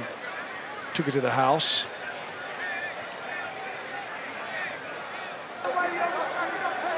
After the play, on sports-related conduct, offense number 20, defense number 8. That is the first on sports-related conduct of the game. It will be second down. Kenyon Clay, the running back, who had the carry, and then Trayshawn Chamberlain was in on the tackle. Hey, uh, Frank Gore Jr., he is a junior. Whenever the next level comes calling, like how does his skill set from what you've seen on film and here today translate? Well, you know, I don't think you'll see him throwing a lot of passes at the next level, albeit a talented player in that capacity. But I don't think there's any question that he's got a role in an NFL offense. We've demonstrated that today. Not only has he got breakaway speed. We talked about some of his, you know, it's just the balance, the vision, patience, a number of different things that you'd look for in a running back in the NFL. Let's go to Alyssa. You guys, uh, you guys were kind of musing earlier in the game if Frank Gore Sr. had the arm strength, quarterbacking ability that we've seen from Frank Gore Jr. Well, I was standing over there on the sidelines just now as he was coaching his son up, giving him some feedback from the day, and I turned and I asked him the question. He said, "No chance. He's got me beat. He throws a much better ball than I do." We're just guessing. We just assumed about dad giving his son his props? Boy, he certainly earned them tonight. Senior's career high at Miami on the ground was 195. Junior today, 329, all kinds of records. And Southern Miss puts together a winning season. They get to 7 and 6, and they win the LendingTree Bowl over Rice. That man. He's fired up. Year two under Will Hall. Gets to seven wins. A couple big victories. Take care of Tulane early on in the season. He gets to celebrate with his players. He gets to coach that young man right there, Frank Gore Jr. Wow, what a statement game by him. Will Hall talks about building this proud program in his second season, a winning season for the first time for Southern Miss since 2019. Down to Alyssa with Frank Gore Jr. Got Frank Gore Jr. down here. A lot of people coming down and congratulating him on the great performance. Frank, three touchdowns on the day, one passing, two rushing. You broke a school record with rushing yards. How'd you do it? Uh, grateful. Grateful for these guys right here. You know, they opened up lanes and just, uh, I knew I knew how important this was for our team. Auntie, chill. I, I knew how important this is for our team, and just we had to come out and get, get it done. Auntie's got to give you some love over here. I know your dad was giving you some coaching on the sideline just now. What do you say about tonight? Uh, I'm thankful. I'm thankful. I'm thankful for all my teammates. You know, I get I owe it all to these guys. You know, they've been with me through the dark times, through the ups. So I owe it all to these guys. And I wanted to spill it for them. You guys battled back to win this game in a tough second half. What does it say about this program here at Southern Miss? We've been there before. We've been down before. Being down seven and third was nothing to us. So we just looked at each other in the eyes, shook it off, and we knew what time it was. Frank, what comes next for this program? How do y'all take the next step after this? Greatness. We're, we're coming for a Sun Belt. We're coming for the rest of the Sun Belt. We're going to be ready. Uh, next year, we're going to take a large step, and we're going to be ready.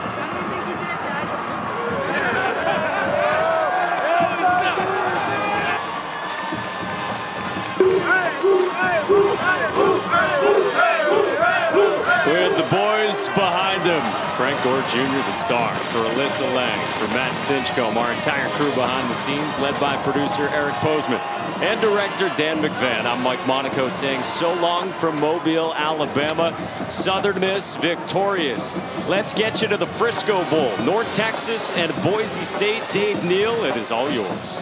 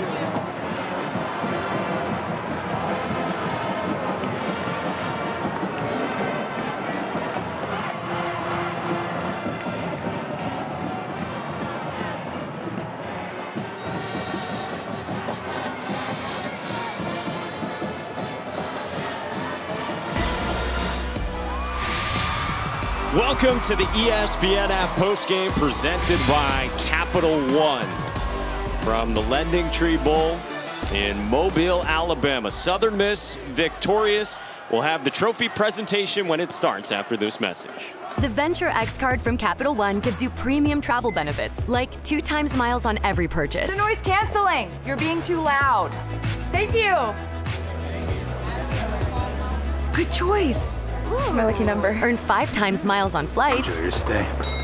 Going up?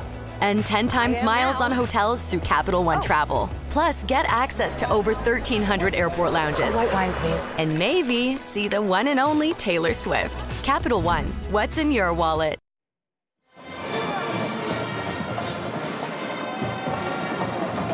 All right, so the trophy ceremony about to begin here at the LendingTree Bowl, and Frank Gore Jr., the star. Tonight's Capital One rewarding performance score 329 rushing yards, the most in FBS college football this season. We expected a big game out of him. I'm not sure that any of us were thinking, ah, you know, how about almost 400 rushing yards and a passing touchdown? That would have been greedy, I think, even as prolific as he's been this season. But it was the second half performance to me more than anything else. He had some big plays in the first half, no doubt. But he really paced the offense in the second half. And when they needed him the most, defense got very aggressive. But the ground game and the explosive plays for Frank Gore Jr., that was the difference for the Southern Miss offense in the second half. He was incredible. The most all-time rushing yards in a bowl game in FBS. 329 for Frank Gore Jr. The ceremony about to start, so let's go down to field level and Alyssa Lang. And welcome in as we get ready to hand out the awards for the 2022 LendingTree Bowl. Huge congrats to Southern Miss on their win tonight.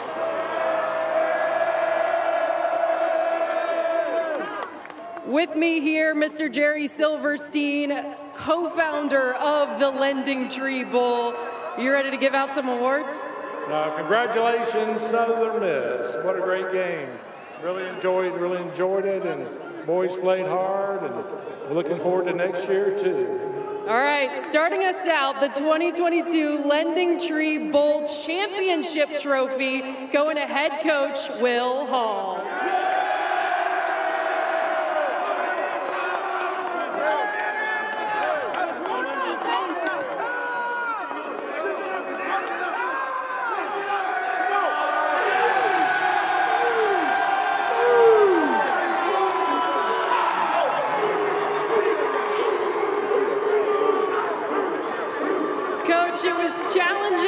Stretch in the second half of this one. What did you learn about the resiliency of your team tonight?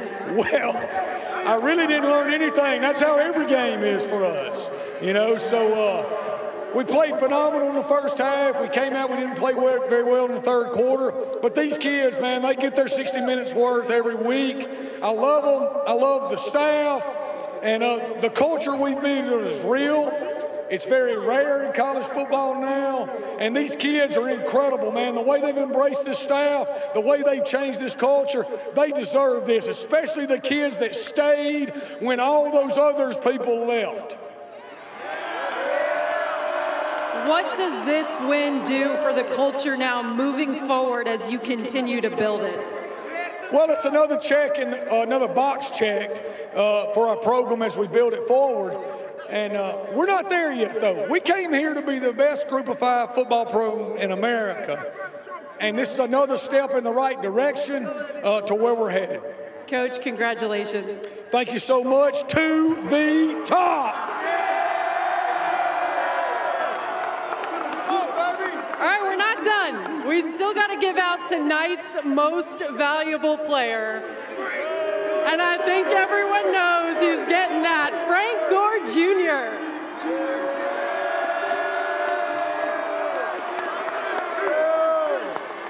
Frank, I know you don't like to talk about yourself, so let's talk about your teammates. How did they help you accomplish this tonight? Uh, you know, my team, they, they've been with me through the up and downs. It just, when, when things weren't going right, they looked at me and said, hey, we're going to need you. And I told them I got them.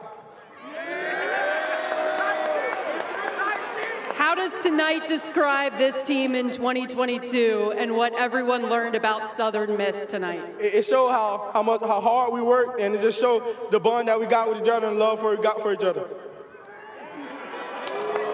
You broke a program record for rushing yards tonight. How tired are you right now? Uh, I don't know. I ain't think about it. Uh, I'm just ready to celebrate with my guys. Go celebrate, Frank. Congratulations. All right, next up, we've got tonight's most valuable offensive player. That's going to go to wide receiver Jason Brownlee.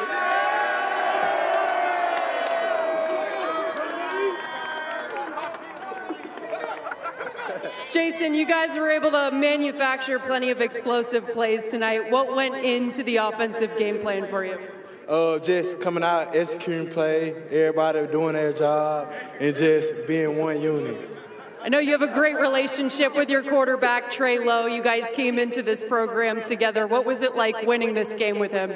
Uh, it means a lot to us, all the hard work we put in, and just putting in overtime to get to the moment.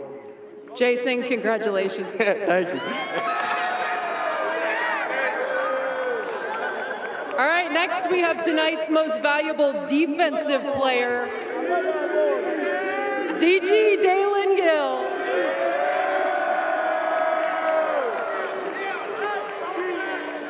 The nasty defense that y'all have out at Southern Miss came up with some big time plays tonight. What were y'all telling each other down the stretch?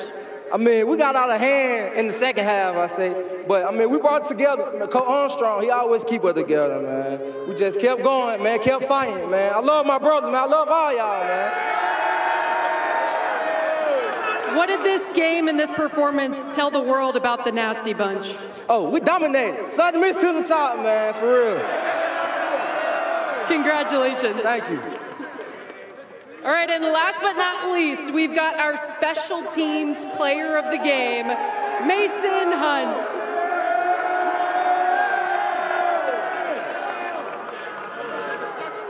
Mason, congratulations. You pinned them several times tonight throughout the season.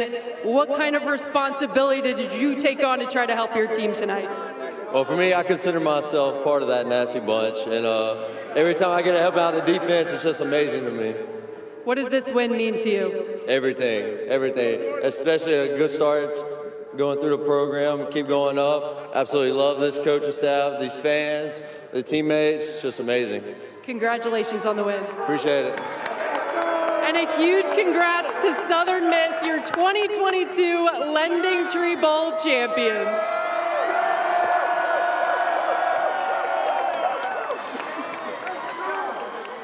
So that does it here in Mobile, Alabama. They lift the trophy. They are the LendingTree Bowl champions. Frank Gore Jr., the star. Southern Miss victorious.